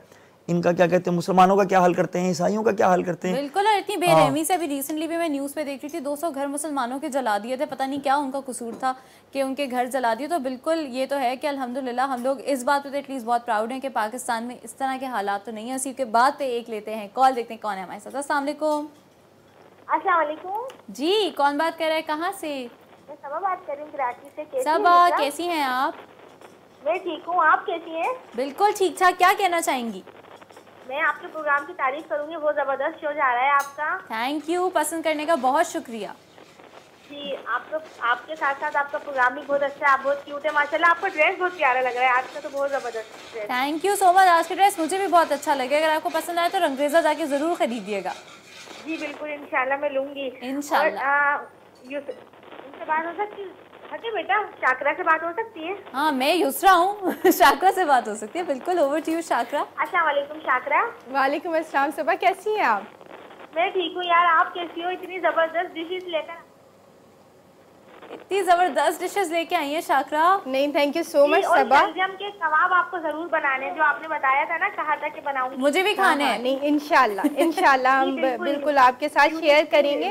और ये आप लोगों की मोहब्बत होती है कि हम आपकी वजह से ये सारा कुछ कर रहे होते हैं। और जब आप हमें मोटिवेट करते हैं ना हम और ज़्यादा से ज़्यादा कहते हैं ना जिसे कहते हैं कि और हमारे अंदर वेरिएशन आ जाती हैं कि हम करके। बताएँ आपको। इतनी अच्छी अच्छी डिशेस बनाना सिखा रही है ना और वो उनका पकाने का बना बताने का ना सिखाने का तरीका ऐसा तुरंत समझ में आ जाती है। बिल्कुल ये बात थैंक यू सो मच आपके पसंद करने का। थैंक यू सो मच अच्छा ये बात आपकी वाकई है कि आप जिस तरह भी समझाती हो ना समझ आ जाती है मुझे भी समझ आ जाती है। आपका भी शुक्रिया। अच्छा जी उसी के साथ बहुत शुक्रिया सबा आपको कॉल करने का। थैंक यू सो मच बहुत अच्छा लगा आपसे बात करके। आ, थोड़े कंट्रोवर्शियल सवाल करते हैं। मज़ा नहीं आता यार जब तक तो कंट्रोवर्सी ज़िंदगी में ना हो ना मज़ा नहीं आता। औरत मार्च के बारे में क्या ख्याल था आपका? देखिए सच सच बताइएगा देखिए। देखिए मैं आप यकीन करें आज मेरी सुबह मेरी वाइफ से भी बात हो रही थी तो वो कह रही थी कि आपके किस किस्म के ख्याल हैं? मैंने कहा ये है कि औरत तो हमारी माँ भी है बहन भी है बेटियाँ भी हैं। मैंने आपसे कहा मैं सबसे ज़्यादा अपनी मदर से प्यार करता हूँ उसको अपनी बेटी, बेटी से। दोनों फीमेल है। तो मेरा सब कहने का मकसद ये है कि सबका अपना अपना दर्जा है। सूर्य निसा के अंदर औरत की अजमत और ये सब चीज़ें बयान कर दी गई हैं। खुदा के वास्ते फहाशी को इससे कनेक्ट ना करें। और मैं ये भी लोगों को बोलूँगा कि चंद लोगों के फेल की वजह से पूरी औरतों पे इसका ब्लेम ना डालें। बिल्कुल। वो उनको हकूक दें उनकी इज़्ज़त करें उनकी रिस्पेक्ट करें और उनको वो जायज़ माशरे में मकाम दें जो हमारे इस्लाम में भी है और जो हमारी सोसाइटी भी कहती है। तो मेरा ये ख्याल है कि अगर बैलेंस करके चलें तो किसी भी चीज़ में कोई प्रॉब्लम ना हो। वो जो तीन चार मेरा ख्याल है वो प्ले कार्ड्स की वजह से शायद ये प्रॉब्लम्स आई है। और अच्छा लोग एक्सट्रीमिज्म की तरफ़ चले गए हैं वो वो भी गलत है। बिल्कुल। एक मसला जो मुझे भी लगा ना वो ये था कि कुछ जो अ, वो कार्ड्स थे उनकी वजह से सब- पूरी मार्च को ही बुरा भला कहा गया। लेकिन अ, मुझे लगता है हमारी सुना है मर्द मार्च हो रहा है। मुझे कल पता चला जी जी मर्द मार्च हो रहा है। नहीं नहीं देखिए अगर वहाँ भी अगर खुदा ना खास्ता बिल्कुल एंटी क्या कहते हैं उसको वेमेन एक्टिविटी होगी तो वो भी मैं खिलाफ आपको हूँ बताओ मैं खुद देख हाँ। रही थी इंटरनेट पे अपनी छुपकली खुद मार दो अपनी चौकीदारी खुद करो वो तो वो तो आपको पता है वो तो एक एक किस्म का मज़ाक में हाँ, बिल्कुल। तंजो मज़ाक में लोग ले रहे हैं लेकिन मेरा इसको सीरियसली लें क्योंकि मैं अगेन कहूँगा मेरी बेटी भी है मेरी बहन मेरी बहनें भी हैं मेरी वाइफ है मेरी वालदा हैं इस तरह की जो पैगाम हम देना चाह रहे हैं पता नहीं किसको देना चाह रहे हैं देखिए जुल्म जिसका भी हो जुल्म औरत मर्द पे करे या मर्द औरत पे करे उसकी तो हमारे इस्लाम में बिल्कुल वाजे है कि जुल्म बर्दाश्त कैसे होगा? आप किसी बिल्ली के बच्चे को भी तकलीफ़ पहुंचाते हैं तो आपको आपको खुद अंदर का एहसास अच्छा, होता है। दिल्ली के बच्चों से हाँ। याद आया कि आजकल आप देख रहे हैं कि केएमसी जो है वो कितना ज़्यादा बेदर्दी से कुत्तों को मार रही है। और आ, मैं थोड़े दिनों पहले ये बताई थी शाकर से ही डिस्कस करी थी कि जिस दिन हमारा पहला शो था तो मेरी आँख खुल गई पाँच बजे और मैं एक जानवर को तड़पते हुए और चीखते हुए मैं अपने घर घर में, जैसे मुझे आवाज़ आई थी, मेरे घर के बराबर में बिल्कुल खाली प्लॉट है। तो मुझे समझ ही नहीं आ रहा था मैंने कहा, पता नहीं किसी का पालतू कुत्ता है क्या? ऐसे बेदर्दी से रो रहा है, क्या हो गया है? कुछ चोट लगी है इसको? मैं बाहर आई तो मैंने देखा कि के ने कुत्ते मारे हुए थे और एक कुत्ते को मतलब उन्होंने बुलेट ऐसे मारा हुआ था, टांग के अंदर के, ना उसकी जान निकल रही थी, ना कुछ हो रहा था, बस अटकी हुई थी।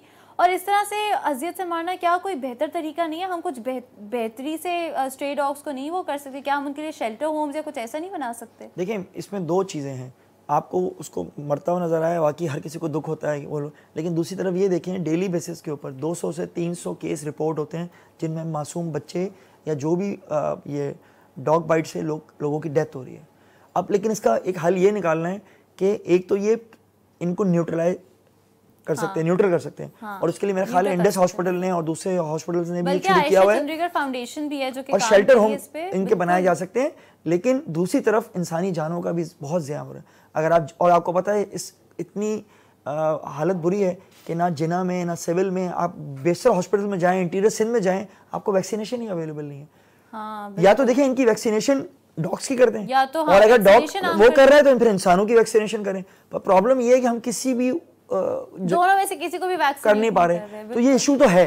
दुख तो देखें होता है कि जब आप किसी भी जानदार को किसी को भी चाहे वो डॉग हो या कोई भी हो स्ट्रे डॉग्स को तो लेकिन ये मैं आपको बता दूँ डिफेंस में मैं रहता हूँ वहाँ सुबह साइकिलिंग होती है ग्रुप्स निकलते हैं। हाँ। उनकी इतनी शिकायतें आती हैं कि बिल्कुल रेले की शक्ल में झुम्मट की शक्ल में डॉग्स उन पे हमले करते हैं। हाँ, ये और जिस लोग जख्मी होते हैं तो वो भी तो हमें रोकने चाहिए ना। लेकिन उसके रोकने का हल निकालने के लिए यही है कि कुछ शेल्टर होम्स बनाए जाएँ। मेरा ख्याल है एनजीओ बहुत सारी चीज़ों में आवाज़ें उठा रही होती हैं इन चीज़ों पर भी उठाएँ। और इसके लिए अगर वो हमारा तावन चाहती हैं तो हम भी हाजिर हैं और सिंध गवर्नमेंट का भी काम है कि शेल्टर होम्स बनाए जाए। बिल्कुल एब्सोल्युटली इस तरह बेदर्दी से मार नहीं सकते। बिल्कुल मारना नहीं चाहिए और मुझे लगता है मारना सोल्यूशन भी नहीं है। आपको कोई हक नहीं है किसी की जान लेने का। अच्छा उसी के साथ आपके देखने वालों को आपके चाहने वालों को कोई मैसेज देना चाहेंगे हमारे थ्रू बस मैं यही कहूँगा कि ना मैं कोई इतना बड़ा सेलिब्रिटी हूँ ना मैं कोई इतना बड़ा कोई हीरो हूँ लेकिन मैं छोटी सी एक बात करूँगा मैं सबको कहता हूँ जी। कि दूसरों को चेंज करने की बजाय अपने आप को चेंज करने की कोशिश करें। और जब भी आपको कुछ चीज़ ऐसी फील हो कि आपको अच्छा काम करना चाहें तो मैं अगेन आपसे ही कहूँगा प्लांट अ ट्री एक एक पौधा कहीं लगा दें और उसकी मालकी कर लें दो से तीन महीने बाद में वो अल्लाह के हुक्म से वो खुद ही बड़ा होता रहेगा। और हमारे कराची को बहुत सख्त ज़रूरत है इसकी। बहुत सख्त ज़रूरत है। वाकई ट्रीज़ की हमारे कराची को बहुत ज़रूरत है और जो मौसम में हम देखते हैं ना कि गर्मी इंक्रीज़ हो रही है ग्लोबल वार्मिंग इंक्रीज़ हो रही है, ये सिर्फ़ मेरा और आपका नहीं एक ग्लोबल इशू है तो क्यों ना हम पाकिस्तान से शुरू करें और पाकिस्तान से मिसाल कायम करें कि देखें पाकिस्तान में ग्लोबल वार्मिंग कम करने के लिए, कराची में ग्लोबल वार्मिंग कम करने के लिए किस किस किस्म के प्रोजेक्ट्स हो रहे हैं और ज़्यादा मुश्किल भी नहीं है एक ट्री को प्लान करना, जो सीड्स भी होती हैं, जो बीज होते हैं, वो भी कोई इतने महँगे नहीं मिलते और ईजिली अवेलेबल है और काफ़ी सारी हमारे ऐसे लोग हैं जो कि मिलकर जो है वो ट्रीज़ के को ग्रो करने के लिए और इस पूरी मूवमेंट के लिए काम कर रहे हैं। एक ब्रांड है हमारा। आप लोग भी जानते होंगे यकीन लॉन का ब्रांड सफ़ायर वो थोड़े टाइम पहले जो है ना अपने बैग्स के साथ आपको सीड्स दे रहा था। उनके बैग्स के अंदर सीड्स होते थे। कि आप जब बैग यूज़ कर लें उसके बाद आप उसको जो है वो बरी कर दें ग्राउंड के अंदर और थोड़े टाइम बाद वो ट्री बन जाएगा। तो मेरे ख्याल से जो हमारी प्राइवेट ऑर्गेनाइजेशन या प्राइवेट कंपनीज़ हैं वो भी इस तरह की अगर चीज़ें जो है वो चलाएँ तो काफ़ी बेहतर होगा। क्यों? क्या ख्याल है आपके इस बारे में? सही कह रहे हैं। सीएसआर पे काम करें। क्योंकि सबको करना पड़ेगा। अच्छा सीएसआर पिक्चर्स खिंचवाने सेल्फियाँ लेने होटल में करने से बजाय आप रोड पे करें लोगों में अवेयरनेस दें और प्लीज़ अमली काम करिए। लाखों रुपए आप जो सेमिनार में वर्कशॉप पे जाया करते हैं ना उन्हीं के आप दरख्त लगा देना। बहुत सस्ते आते हैं। सौ रुपए पचास रुपए पंद्रह रुपए। आप यकीन करें इतने सस्ते आते हैं ना। अच्छा लोग कहते हैं मैं तो फ्लैट में रहता हूँ मैं नहीं कर सकता। अपनी बालकोनी पे लगा दें हाँ, गमलों में लगा दें। आपको खुद सुबह सुबह अच्छा फील होगा। वो आपने कहा ना अपना ही चेहरा देख के सुबह होती है। हाँ, तो आप यकीन करें पौधों को देख के आपकी होगी ना आपकी ज़िंदगी। में खुद एक एक खुशगवार एक चेंज आएगा। और दुनिया में आप देखें आप कहते हैं कितना खूबसूरत स्विट्जरलैंड कितना खूबसूरत इंग्लैंड यार अच्छा लगता है। अच्छा लगता है इन्वायरमेंट की वजह से। इन्वायरमेंट की वजह से। और क्या वहाँ पर क्या कोई आसमान से मतलब कोई वो अल्लाह पाक ने तो सारे शहर सारे मुल्क एक जैसे बनाए थे। ये तो हमने और आपने उनको इतना फ़र्क और इतना क्या कहते हैं इतना डिफरेंट डिफरेंशिएट कर दिया डिफरेंशिएट कर दिया कि हम कुछ कर ही नहीं सके। बिल्कुल। हाँ. नहीं बिल्कुल आज से मुझे लगता है कि आपकी बात से बहुत सारे हमारे देखने वाले भी इंस्पायर हुए होंगे और कुछ ना कुछ करें इन्वायरमेंट के लिए। चाहे वो सिर्फ़ यही हो कि आप अपने घर पे जो प्लास्टिक यूज़ करें उसको रिसाइकिल करें। इसी बात पे लेते हैं। एक छोटा सा ब्रेक बहुत शुक्रिया आपका आने का आपका हमें बहुत शुक्रिया। बहुत अच्छा लगा आपसे बात करके। सो मच अब वक्त आए एक ब्रेक का। ब्रेक के बाद आपको नए मेहमानों से मिलवाएँगे। देखते रहें जूठा Pakistan.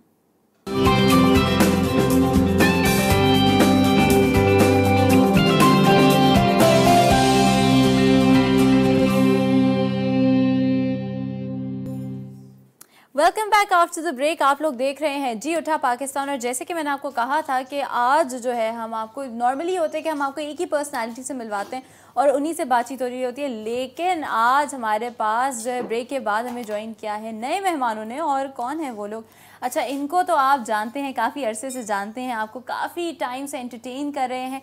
बज़ाहिर सिंगर इन्होंने अपना करियर वैसे तो स्टार्ट किया था लेकिन उसके बाद आ, कैसे इनकी चीज़ें ज़िंदगी में ट्विस्ट एंड टर्न हुई कि ये रेडियो की तरफ़ आ गए। एफ़ एम वन हंड्रेड पर आप इनको सुनते हैं और काफ़ी ज़्यादा इनकी फ़ैन फॉलोइंग इनको पसंद भी बहुत करते हैं।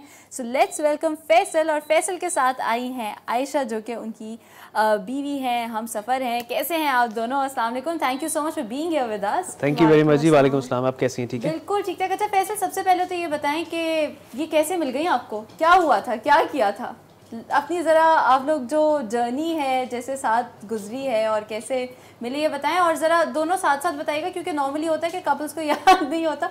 कपल्स को नहीं खातिनों को तो याद होता है जो मर्द हजरात हैं इनको याद नहीं होता। क्यों I should you agree with me हाँ बट मेरे केस में उनको ज़्यादा याद है। ज़्यादा याद है। मुझे आपका एक्सपीरियंस बुरा लग रहा है मेरा एक वाकई में भाई अगर मेरे हस्बैंड से पूछते ना कैसे मिले आप तो आपको तीन चार वेरिएंट्स मिलेगी क्योंकि इतना टाइम हो गया कि अब हम मतलब we known each other since we were in grade five तो शादी तो हालाँकि हमारी अभी हुई है लेकिन जब तब से जानना होता है ना तो जरा भूल जाते हैं। बचपन की मोहब्बत जो होती है ना इसे कहते हैं बचपन। मोहब्बत थी या नहीं ये नहीं पता लेकिन आपका इंटरव्यू ले लिया इन्होंने मैं वही कह रहा हूँ बचपन की मोहब्बत होती तो आप बताएँ आप कैसे मिले थे वो आप आप देख मैं तो शो पे मिली थी।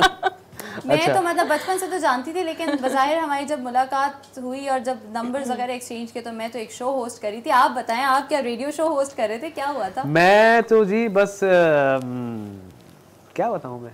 बहुत चीज़ें हैं लेकिन आ, मैं बेसिकली रेडियो करता हूँ करता था सिंगिंग करता हूँ करता, करता था, ठीक है। Because I am also producer मैं ए आर वाई न्यूज़ पे एक प्रोग्राम भी होस्ट कर रहा हूँ जहाबीन के नाम से जो एक ट्रेवलॉग टाइप का शो है। हम्म। तो बहरल इस इनका इससे कोई ताल्लुक नहीं है बिकॉज़ इसीलिए तो पूछ रही हूँ कैसे मुलाकात हुई क्या हुआ? एक्चुअली खूब घुमा रहे हैं आपको। ठीक है। ये ये हाँ ये मैं समझ सकती हूँ। नहीं घुमाने की बात नहीं है होता मैं बता देती हूँ आपको। बेसिकली हाँ, हाँ। एक किसी इवेंट में उन्होंने मुझे देखा था।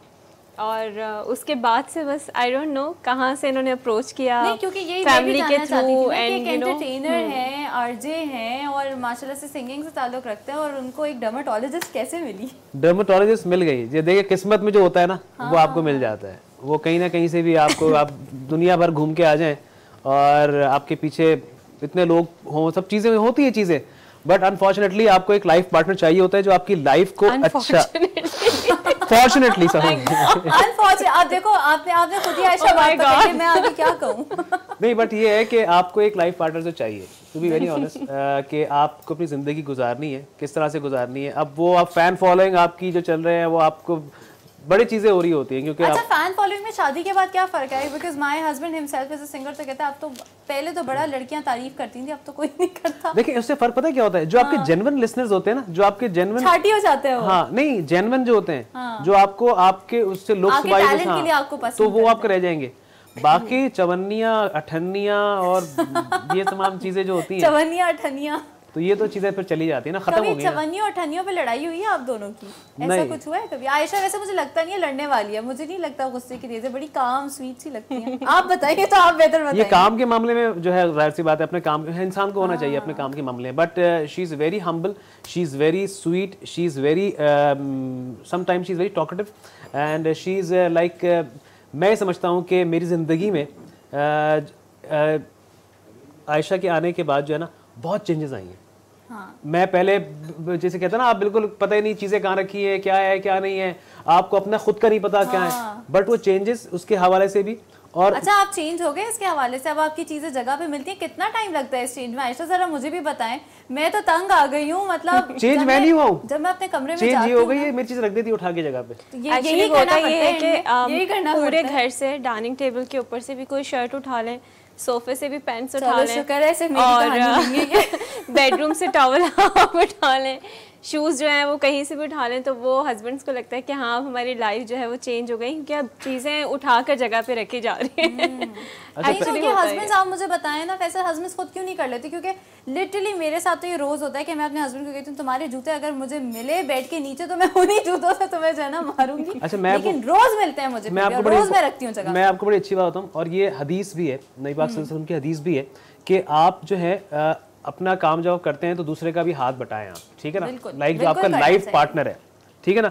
अभी आपकी ड्यूटी या इनकी ड्यूटी नहीं है कि बच्चों को तैयार करें ठीक है? खाना पकाएँ सब चीज़ें हैं ठीक है ना? ये कलेक्टिवली होती है। तो मैं तो ये ऑनर ये बात अगर मैं कहूँ कि हाँ हाँ फॉर दैट ही संडेज को मैं बहुत ज़्यादा कॉपरेट करता हूँ ठीक है? इवन मैं बर्तन भी धो देता हूँ ठीक है? होता है। मैं नाश्ता भी बना के देता हूँ ठीक है? क्योंकि हाँ, इंसान को जो है आप चीज़ें करेंगे तो ना नाश्ता भी बना देते। तो ज़ाहिर सी बात है यहाँ से प्यार मिलेगा वरना फिर वो अच्छा नवाब है आने दो जरा फैसल को।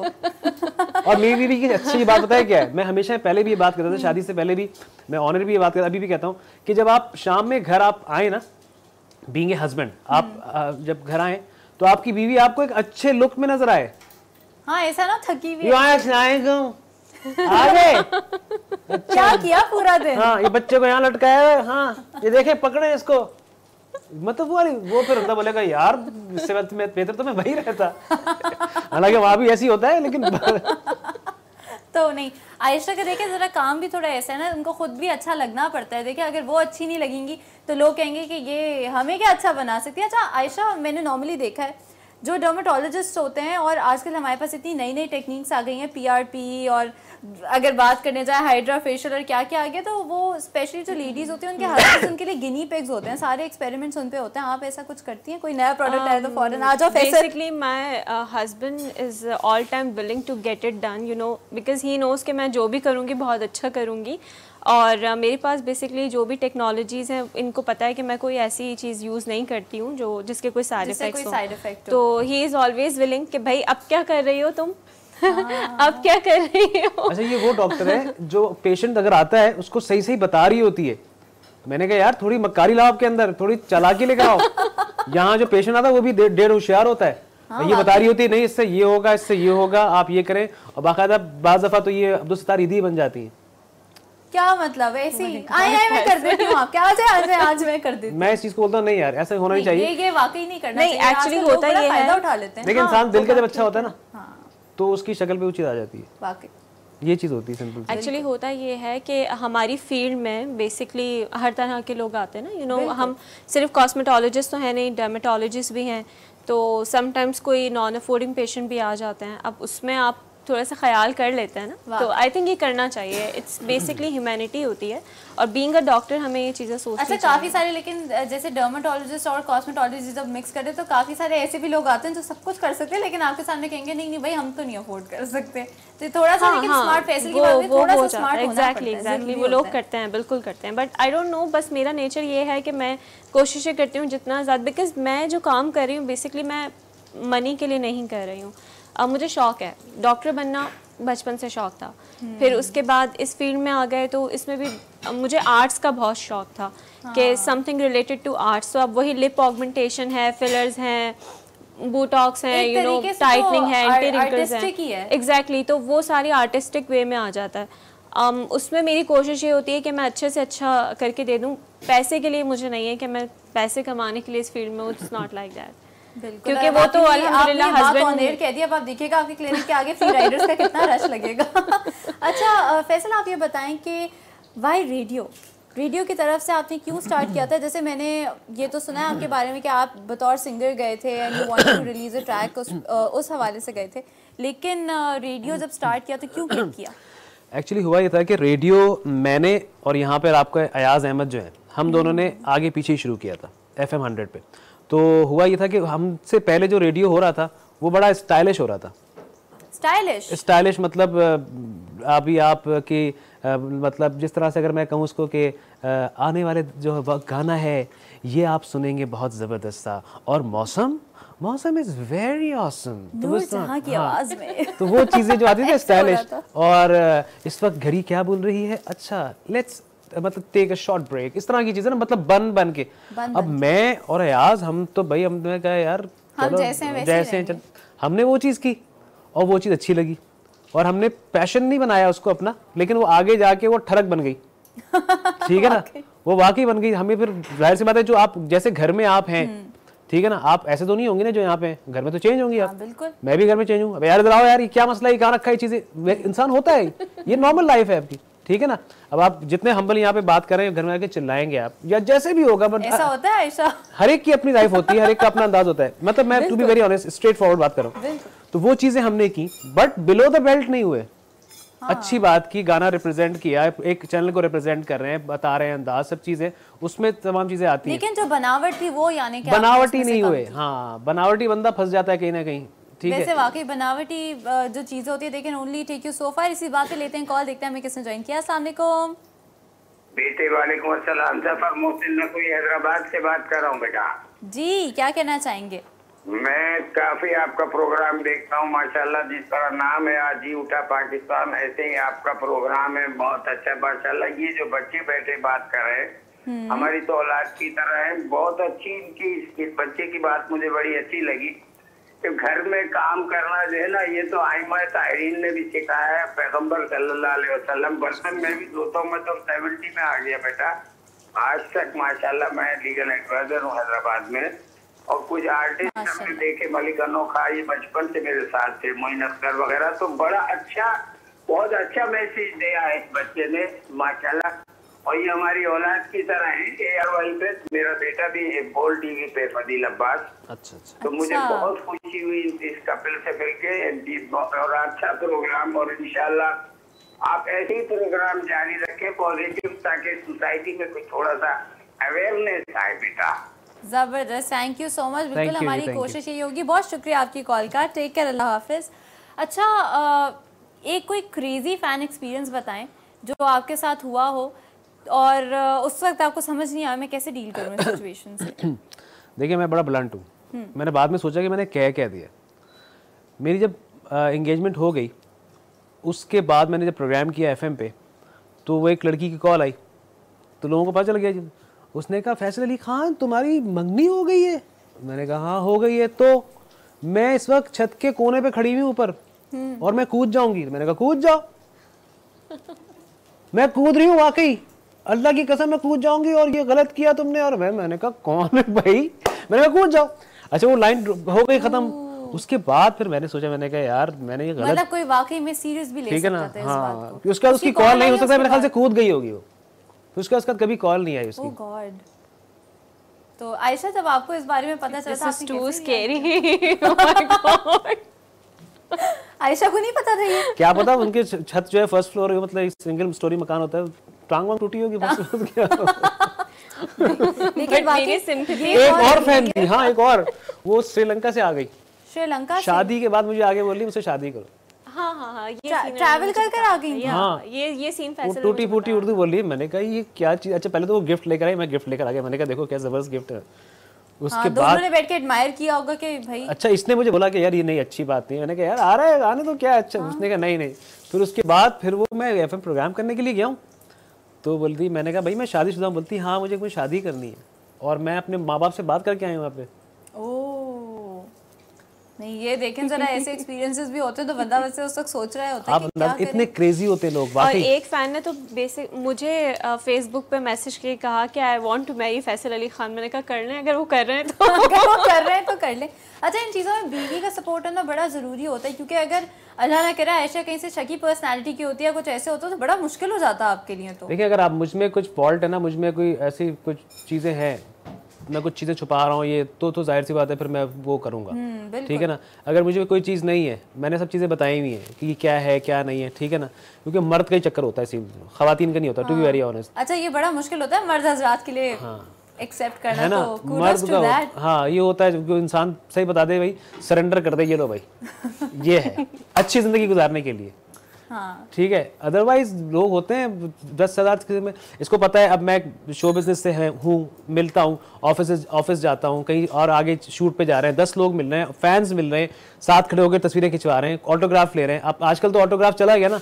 वो एक दौर स्नैपचैट और इंस्टाग्राम पे सेल्फी है आपकी बस साथ हो जाए उसमें आप बस कोई ज़रूरत नहीं आपके हाँ मेरी इससे सेल्फी थी ये थी वो थी वो दस चीज़ें। तो उस चीज़ को पता है मेरा को कि हाँ क्या है क्या नहीं है। तो ज़ाहिर सी बात है आपके दिन अच्छे गुजरते हैं। एक्चुअली फैसल से आ, मतलब शादी का एक मेजर रीज़न वो मेरा जो नेचर था मैं बहुत रिज़र्व रहती थी लोगों से। हम्म। और फैसल के नेचर में मैंने ये चीज़ देखी थी कि ही इज़ लाइक लड़कियों से थोड़ा ना दूर भागने वाले यू नो क्यों? क्या कुछ ऐसे पर्सनल एक्सपीरियंसेस ऐसे रहे थे? नहीं मेरी शुरू से आदत है। किसी के साथ मतलब कोई गलत या कोई ऐसी हाँ, वाली मतलब चीज़ थी वरना आपको पता शोबिस में। एग्जैक्टली बहुत सारे लोग ऐसे हैं जिनके अफेयर्स एंड यू नो हम भी इस दुनिया में रहते थे तो सब पता था क्या है क्या नहीं एग्जैक्टली तो फैसल की ये चीज़ अच्छी थी। हाँ हम बदनाम बहुत थे। जो लोग ज़्यादा स्ट्रेट फॉरवर्ड होते हैं ना वो ज़्यादा बदनाम भी होते हैं। ये क्योंकि लोग कहते हैं इतना स्ट्रेट फॉरवर्ड है और इसके तो कुछ कैरेक्टर में कुछ है ही नहीं ज़रूर कुछ होगा दाल तो आपने कोई अच्छी नेकी की ना ज़िंदगी में जो आपको ये मिला? मुझे। आई एग्री दैट अच्छा आप फैसल का शो सुनती थी? मैं फैसल का शो इस तरह से कि फैसल को जानने के बाद और बहुत पहले हाँ मेरी कज़न ने मुझे बताया था एक बार कि एक आरजे आते हैं और बहुत अच्छा शो करते हैं तो उन्होंने मुझे एक बार सुनाया तो उसके बाद दिन फिर हम अपनी लाइफ में बिज़ी हो गए। और नाम सुना हुआ था फैसल अली ख़ान ओके फिर एक इवेंट बेसिकली हुआ था तो उसमें हम इनके साथ थे मे हमारी एक स्टूडेंट कोऑर्डिनेटर थी um, वो उनको शायद लाइक करती थी। अच्छा। तो उसी वहाँ से आपको पता चला अच्छा हमारी हाँ। मज़ेदार किस्म की बातें तो यहाँ पे चलती रहेंगी लेकिन अभी वक्त है एक छोटे से ब्रेक का ब्रेक के बाद आपको ज्वाइन करेंगे देखते रहें जी पाकिस्तान।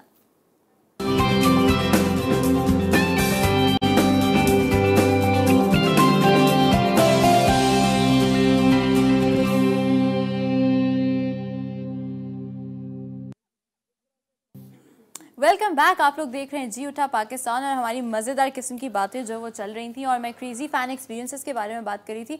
अच्छा फैसल अब आपने टीवी भी कर लिया और रेडियो भी कर लिया तो दोनों में आपको फ़र्क क्या लगता है? And does radio still click to you yes radio जो है आपका मैंने जैसे बताया ना आपको रेडियो एक ऐसा मीडियम है कि अगर आपने रेडियो नहीं किया है अगर आप रेडियो करें तो जो जितनी मैं बातें कर रहा हूँ ना यहाँ बैठ के हम्म। ये आपको कॉन्फिडेंस रेडियो देता है।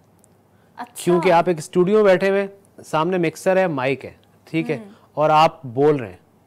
और आपको नहीं पता आपको लाखों लोग सुन रहे हैं। लाखों नहीं तो हज़ारों लोग सुन रहे हैं। लेकिन टीवी में भी तो ये ठीक है ना? पता नहीं आपको कितने लोग सुन रहे हैं। ठीक है टीवी का मगर ये है कि कैमरा है। आप जा सकते हैं आउटडोर निकल गए वहाँ खड़े होकर फिर आप लोगों का चीज़ें देख रहे हैं वहाँ पे बंदा थोड़ा सा घबरा भी जाता है क्योंकि लोग कमेंट्स बहुत पास कर रहे होते हैं। यहाँ से जो बोलने का जो होता है ना अंदाज आपका रेडियो क्योंकि इतने बड़े बड़े नाम निकले हैं रेडियो से काजी वाजिद साहब मरहूम ठीक है महमूद अली साहब फिर अरशे मुनीर जो कि अब नहीं है दुनिया में और बेशुमार लोग हैं जी जो ब्रॉडकास्टर्स रहे रेडियो पाकिस्तान के ठीक है ना? बल्कि अभी जो हमारे साथ मेहमान थे आपसे पहले शहजाद कुरैशी वो उनका भी 107 से बड़ा क्लोज रिलेशनशिप रहा है तो वो भी बता रहे थे कि बड़े बड़े ऐसे लोग जुबैदा तारिक ने रेडियो से स्टार्ट किया बिल्कुल मतलब रेडियो से तो आगाज़ अहमद रुशदी ने रेडियो से आगाज़ किया मतलब आप देखें ना खान साहब मेदी हसन साहब ने अगर सिंगिंग की बात करें मैडम नूर जहाँ की बात मतलब बेशुमार मौसीकार अदाकार सदाकार जितने तो वो रेडियो से एक दौर होता था उसके बाद पहले तो रेडियो था फिर टीवी आया।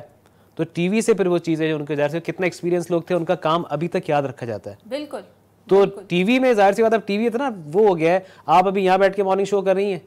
कल आप कहीं इस्लामाबाद में बैठी होंगी या मरी बैठी होंगी क्योंकि आप डिफरेंट फील चाहिए होगी आपको। बिल्कुल। तो वो अलग चीज़ आ जाती है। लेकिन ज़ाहिर सी बात है टीवी से आप जो है रिकग्नाइज हो जाते हैं। रिकग्नाइज हो जाते हैं। रेडियो से आपकी आवाज़ रिकग्नाइज होती है रेडियो से भी रिकग्निशन मिल जाती है बिकॉज़ आप सोशल मीडिया वो नहीं होना चाहिए। मैं उस चीज़ के अगेंस्ट हूँ हुआ है। कि आप ऐसी पजामाज में अपने और ऐसे नॉर्मल कैजुअल कपड़ों में बैठे हो और कोई मेहमान आया और वो बस यूँ लाइव शुरू हो गया। जी फैसल आ जाए आ जाए फैसल ये देखिए हम फैसल के शो पर हैं। कितनी बार हुआ ये? ये काफ़ी दफ़ा हुआ है। तो गुस्सा नहीं आता क्योंकि कभी कभार you not just like radio बिल्कुल डिफरेंट है and you not prepared you not dressed a certain way तैयार होकर जाना पड़ता है मैं क्रॉस कर देता हूँ अक्सर। हाँ ठीक है ठीक thank you very much you करके निकल जाता हूँ। क्योंकि आप रेडी नहीं आप मैप शो करने हाँ। गया हूँ ठीक है? तो वो अचानक कोई आ गया आप लाइव है। हमारे साथ एक हमारे प्रेजेंटर और हैं तो उनके साथ एक बंदा घूम रहा होता है जो सिर्फ़ कैमरा लेके यूँ चल रहा होता है। जी अस्सलाम वालेकुम फैसल भाई आप लाइव जा रहे हैं इस वक्त? मैंने कहा यार बहुत आला बहुत अच्छे करके। उन्होंने कहा मतलब इंसान थोड़ा अब तो अब रेडियो जब से अब स्टूडियोज में कैमरे भी लग गए ठीक है ना? अब वो वहाँ से भी लोग जा रहे होते हैं। अब मुख्तलिफ़ आप चैनल्स अगर देखें मुख्तलिफ़ एफ़ एम चैनल्स पे तो वो लोग हर दूसरा प्रोग्राम वो कहते हैं फेसबुक पे कि आप लाइव प्रोग्राम को सुन भी सकते हैं देख भी सकते हैं। Which is not like radio radio हाँ बिल्कुल। तो रेडियो अलग चीज़ है। ये और सारे। लेकिन आजकल मुझे लगता है थोड़ी सी नीड भी बन गई है। जैसे अ, मैंने खुद भी एक दो जो मेरे दोस्त जो आरजेज हैं मैं उनको देखती हूँ। तो अब थोड़ा सा डिफरेंस ये भी आ गया कि अब लोग जो है ना पहले तो ये होता था कि लोग सोचते थे अच्छा हम इनकी आवाज़ रेडियो पे सुन रहे कैसे दिखते होंगे? लेकिन अब आप उनकी आइडेंटिटी आप एक एसोसिएट कर लेते हैं उनके साथ और आपको उनकी शक्ल जानना कैसे दिखते हैं कैसे बात करते हैं वो ज़रूरी हो गया रिकग्निशन के लिए भी ज़रूरी हाँ। ये हो क्यूरियोसिटी भी खत्म हो गई है अब लोगों में ना। जैसे आपने सुना आप फेसबुक पे लिख दिया तो सोशल मीडिया पे सब चीज़ें आ गई। अब जैसे ये अब इनका जो फील अलग है। तो अब ये लाइव सेशन वगैरह कर रही होती है बता रही तो मतलब लाइक उसमें कुछ आपको हासिल हो रहा है ना कुछ चीज़? हाँ कोई इन्फॉर्मेशन मिल रही है ठीक है ना? अब मैं बस पढ़ रहा हूँ जी हाँ जी फैसल भाई गाना सुनाते हैं कोई अच्छा यार अभी तो कोई फैसल भाई ये वाला गाना सुनाते हैं अच्छा अच्छा ये मैसेज नि, निकल गया आपका। इवन आप टीवी पे आ रही हैं चले आप समझ में आता है ये समझ में आता है मैं लाइव जा रहा हूँ ठीक है ना? चार लोग जानते हैं बड़ी बात नहीं कर रहा हूँ मैं चार लोग जानते हैं तो आपकी समझ में भी आ गई चीज़। ऐसे ऐसे लोग भी हैं जो हाँ जी मैं इस वक्त लाइव हूँ और मेरे अबे तुम्हें जानता कौन है यार अच्छा मुझे भी समझ आता है ऐसे लोगों की हिम्मत कैसे आती है सियासत पे बातें कर रहे होते हैं, क्योंकि हाँ। मेरी आज तक हिम्मत नहीं हुई ऑनेस्टली फेसबुक लाइव जाने की मैं एक दो बारी शायद हम हमारे पेज से गई हूँ। मेरी हिम्मत नहीं होती। मैं कहती हूँ यार मुझे मतलब देख देख कौन रहा होगा? और ऐसा ना हो कोई कुछ नेगेटिव कह दे कुछ ऐसा कह दे फिर तो मेरी और ही हिम्मत खत्म बाकी अब वो बात कर रहे हैं जी वो पेप्सी वो शेंटीन पेम्पू वाली चीज़ वाली और तीन लोग देख रहे हैं उसका। हाँ। मैं आज देर से उठा रात में अम्मी ने बहुत डांटा था पराठा खाया था रात में और हाँ मतलब वो जी व्हाट इज़ लेकिन दिस फिर इसी तरह के तो लोग हैं ना जो निकलते हैं और फिर वो और आते भी ऐसी हैं गुज्जर गुज्जर का मैसेज आ रहा होता है हाँ। गर्म है। हाँ वो अजीब ही चीज़ें आ रही होती हैं। वाकई वाकई बिल्कुल। अच्छा ये बताएँ कि आपकी और आपकी बेटी की रिलेशनशिप कैसी है? मेरी जान है जी वो। क्योंकि ये होता है ना बच्चों के बाद बड़ा चेंज हो जाते हैं बहुत बहुत ज़्यादा माशाल्लाह से बहुत ज़्यादा। मेरी तो मतलब मैं एफएम जब जाता हूँ तो वो साथ लेके गए हाँ साथ? साथ डेली ऑलमोस्ट साथ जारी होती। है काफ़ी बार गई हैं। अब तो बल्कि ये हो गया है कि फैसल अच्छा वो समटाइम्स अपने फन में ना फैसल को फैसल बोल देती हैं। वो पापा पापा वगैरह तो साइड पे हो जाता हो। जाता है। Faisal let's go FM let's go FM और- अच्छा कोई ऐसी चीज़ जो वो अ, मतलब आपसे कभी मांगे या कैसे उसको कभी मना करते हैं या नहीं जो भी कहती है हो जाता है। मैं ये हालाँकि मुझे बोलती है कि आप ना स्पॉइल कर रहे हो आप। हाँ ये कर रहे हैं आप डांटते नहीं है उसको डांटें ठीक है आप मैं नहीं मैं नहीं बोलता क्योंकि बेटी है। बेटा होता ना तो मैं एक लगा भी देता। अरे बेटी अभी तो इतनी छोटी सी है बेटा भी होता तो छोटा सा ही नहीं होता। जो भी ज़ाहिर सी बात है बेटा होता तो हम जो चीज़ें होती हैं। लेकिन बेटी है ना दो दो बेटी है माशाल्लाह हमारी। ठीक है एक छोटी तीन महीने की है ना? अच्छा माशाल्लाह। और एक जो है बड़ी है जो वो जो स्कूल से जब आती है उनका सुबह में उनको नाश्ता भी उनको बना के दे रहा हूँ उनको बैग भी पैक कर रहा हूँ उनके कपड़े उनको पहनाता हूँ यूनिफॉर्म शी वांट्स कि मेरा हर काम जो है वो मेरे पापा करें। लंच मैं प्रिपेयर कर दूँगी उसको कोई इशू नहीं है लेकिन यूनिफॉर्म वो इनसे पहनना है। फिर हेयर टाई उनका मैं करूँगी। मतलब हम दोनों को बिज़ी रखना होता है उन्होंने। शूज़ वो खुद पहनेंगी। उन्होंने सब अपने ना काम रखे हुए कि ये पापा से करवाना है ये मामा से हाँ, करवाना है। सुर में पक्की ठीक है? पक्का मैं बीच में हारमोनियम लेके बैठा था मैं। अच्छा। मेरे साथ सारे गाँव सब चीज़ें कर रही थी। मैंने कहा यार ये तो है यार। ये है इसमें टोन ये डेफ नहीं है। ये है। और बाहर जब जाती है शॉपिंग वगैरह पे हम जब कभी जाएँगे तो मैं कौन? भाई तुम कौन हो? जो कुछ है ये है। आजकल के बच्चे वैसे कितने चलाक हैं, उनको पता होता है कौन सी चीज़ किससे निकलवानी है। इतनी सुरों की बात हो रही है गानों की बात हो रही है तो फैसल कुछ थोड़ा सा तो गा के सुना दे। मैं सुनाता हूँ आपको। मैंने कवर सॉन्ग किया था आलमगीर साहब का। अच्छा। ठीक है वैसे तो मेरा एल्बम मैंने किया था गा, गाने भी मेरी वीडियोस दो तीन आई हैं दीवानगी की एक वीडियो आई थी। अपना गाना क्यों सुना रहे अपना गाना सुना दूँ? अच्छा आपको इनके वैसे अपने गाने ज़्यादा अच्छे बहुत अच्छे गाने हैं इनके हैं चले हाँ ये तो बीवी की तरफ़ से फरमाइश अच्छा है। अच्छा। चले बेगम को डेडिकेट कर दूँ। क्या बात है?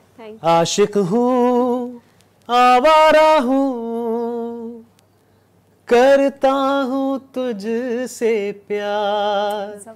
हो दीवानगी के सफ़र में यादें बनी ज़िंदगी। तन्हा जिया कैसे मैं तो शिकवा नहीं ज़िंदगी। आशिक हूँ आवारा हूँ करता हूँ तुझसे प्यार। ज़बरदस्त। वेरी नाइस और माशाल्लाह से सुरों की पहचान जो है ना वो हर किसी को नहीं होती और ये थोड़ा गॉड गिफ्टेड भी होता है फैमिली से भी आता है। आपकी फैमिली में आपके अलावा कौन गाते हैं? मेरी आ, अम्मी। अम्मी? इनकी वालदा। ज़बरदस्त। हाँ थोड़ी बहुत अम्मी तो ऐसे नहीं गाती थोड़ी मतलब बहुत। अ, कोई ऐसा नहीं है प्रोफेशनल नहीं है लेकिन उनकी आवाज़ बहुत अच्छी है। और इन्होंने आई थिंक उन्हीं से लिया आवाज़ हाँ वो चीज़ ली है। हाँ। ज़बरदस्त। हाँ ये वाकई में फैमिली से भी होता है थोड़ा बहुत गॉड गिफ्टेड भी होता है लेकिन घर वालों में ये जो कहते हैं ना जरासीम ज़रूर होते हैं। जैसे मेरी फैमिली में मेरी मदर गाती है मेरे मामू गाते हैं तो मुझे लगता है कि ये चीज़ें होती हैं फैमिली में फिर ही लोगों को आगे जो है ना मिलती हैं। अच्छा जी इसी के साथ thank you very much for being Thank हमारा टाइम खत्म हो गया लेकिन मज़ा नहीं आया। दिल चाह रहा है कि आप लोगों को जो है ना फिर एक अलग शो में भी बिठाएँ और आप लोगों ने फिर आना है ज़रूर। इंशाल्लाह अच्छा जाते जाते एक छोटा सा मैसेज अगर आप अपने फैंस को दे दें हमारे ज़रिए प्लीज़ अच्छा जी यहाँ पर आगे हमें बहुत अच्छा लगा। टू बी वेरी ऑनेस्ट एक अच्छा मॉर्निंग शो के जहाँ पर आपको अच्छी बातें आपके अंदर की जानने का, सब पहचानने का चीज़ें मिली। अमूमन तो हम देख रहे होते हैं मॉर्निंग शोज़ में, बहुत कुछ दिखाया जा रहा होता है, लेकिन ये अच्छी चीज़ है कि यहाँ पे आके बहुत अच्छा लगा और मेरी विशेज़ हैं जी चैनल जी के लिए। कि अभी तो आगाज़ है। आगे आगे देखी होता है कि अल्लाह ताला इनको बहुत तरक्की दे और जितने भी यहाँ पे कैमरामैन हैं साथ साथ प्रोड्यूसर्स हैं एसोसिएट प्रोड्यूसर्स हैं कोऑर्डिनेटर्स हैं इंटर्नीज हैं होस्ट हैं आप सबको अल्लाह ताला बहुत कामयाबियाँ दें। Thank you thank you so much for your well wishes Faisal और फैसल और आयशा आप दोनों से मिलकर हमें बहुत अच्छा लगा और अभी दिल नहीं भरा है हमारा हमें काफ़ी सारी आपसे बातें करनी हो तो आप लोगों को दोबारा भी आना है हमारे शो पे। Thank you so much Shakra कि आपने इतनी ज़बरदस्त किस्म की डिज़र्ट और इतना ज़बरदस्त किस्म की लौकी के कोफ्ते हमारे लिए बनाए। और अब हम जो है ना वो उनको इन्जॉय करने वाले हैं इन्जॉय करने का टाइम है। मुझे और मेरी टीम को दीजिए इजाज़त कल एक नए शो के साथ आपके सामने आएँगे। अनटिल देन टेक केयर अल्लाह हाफिज़।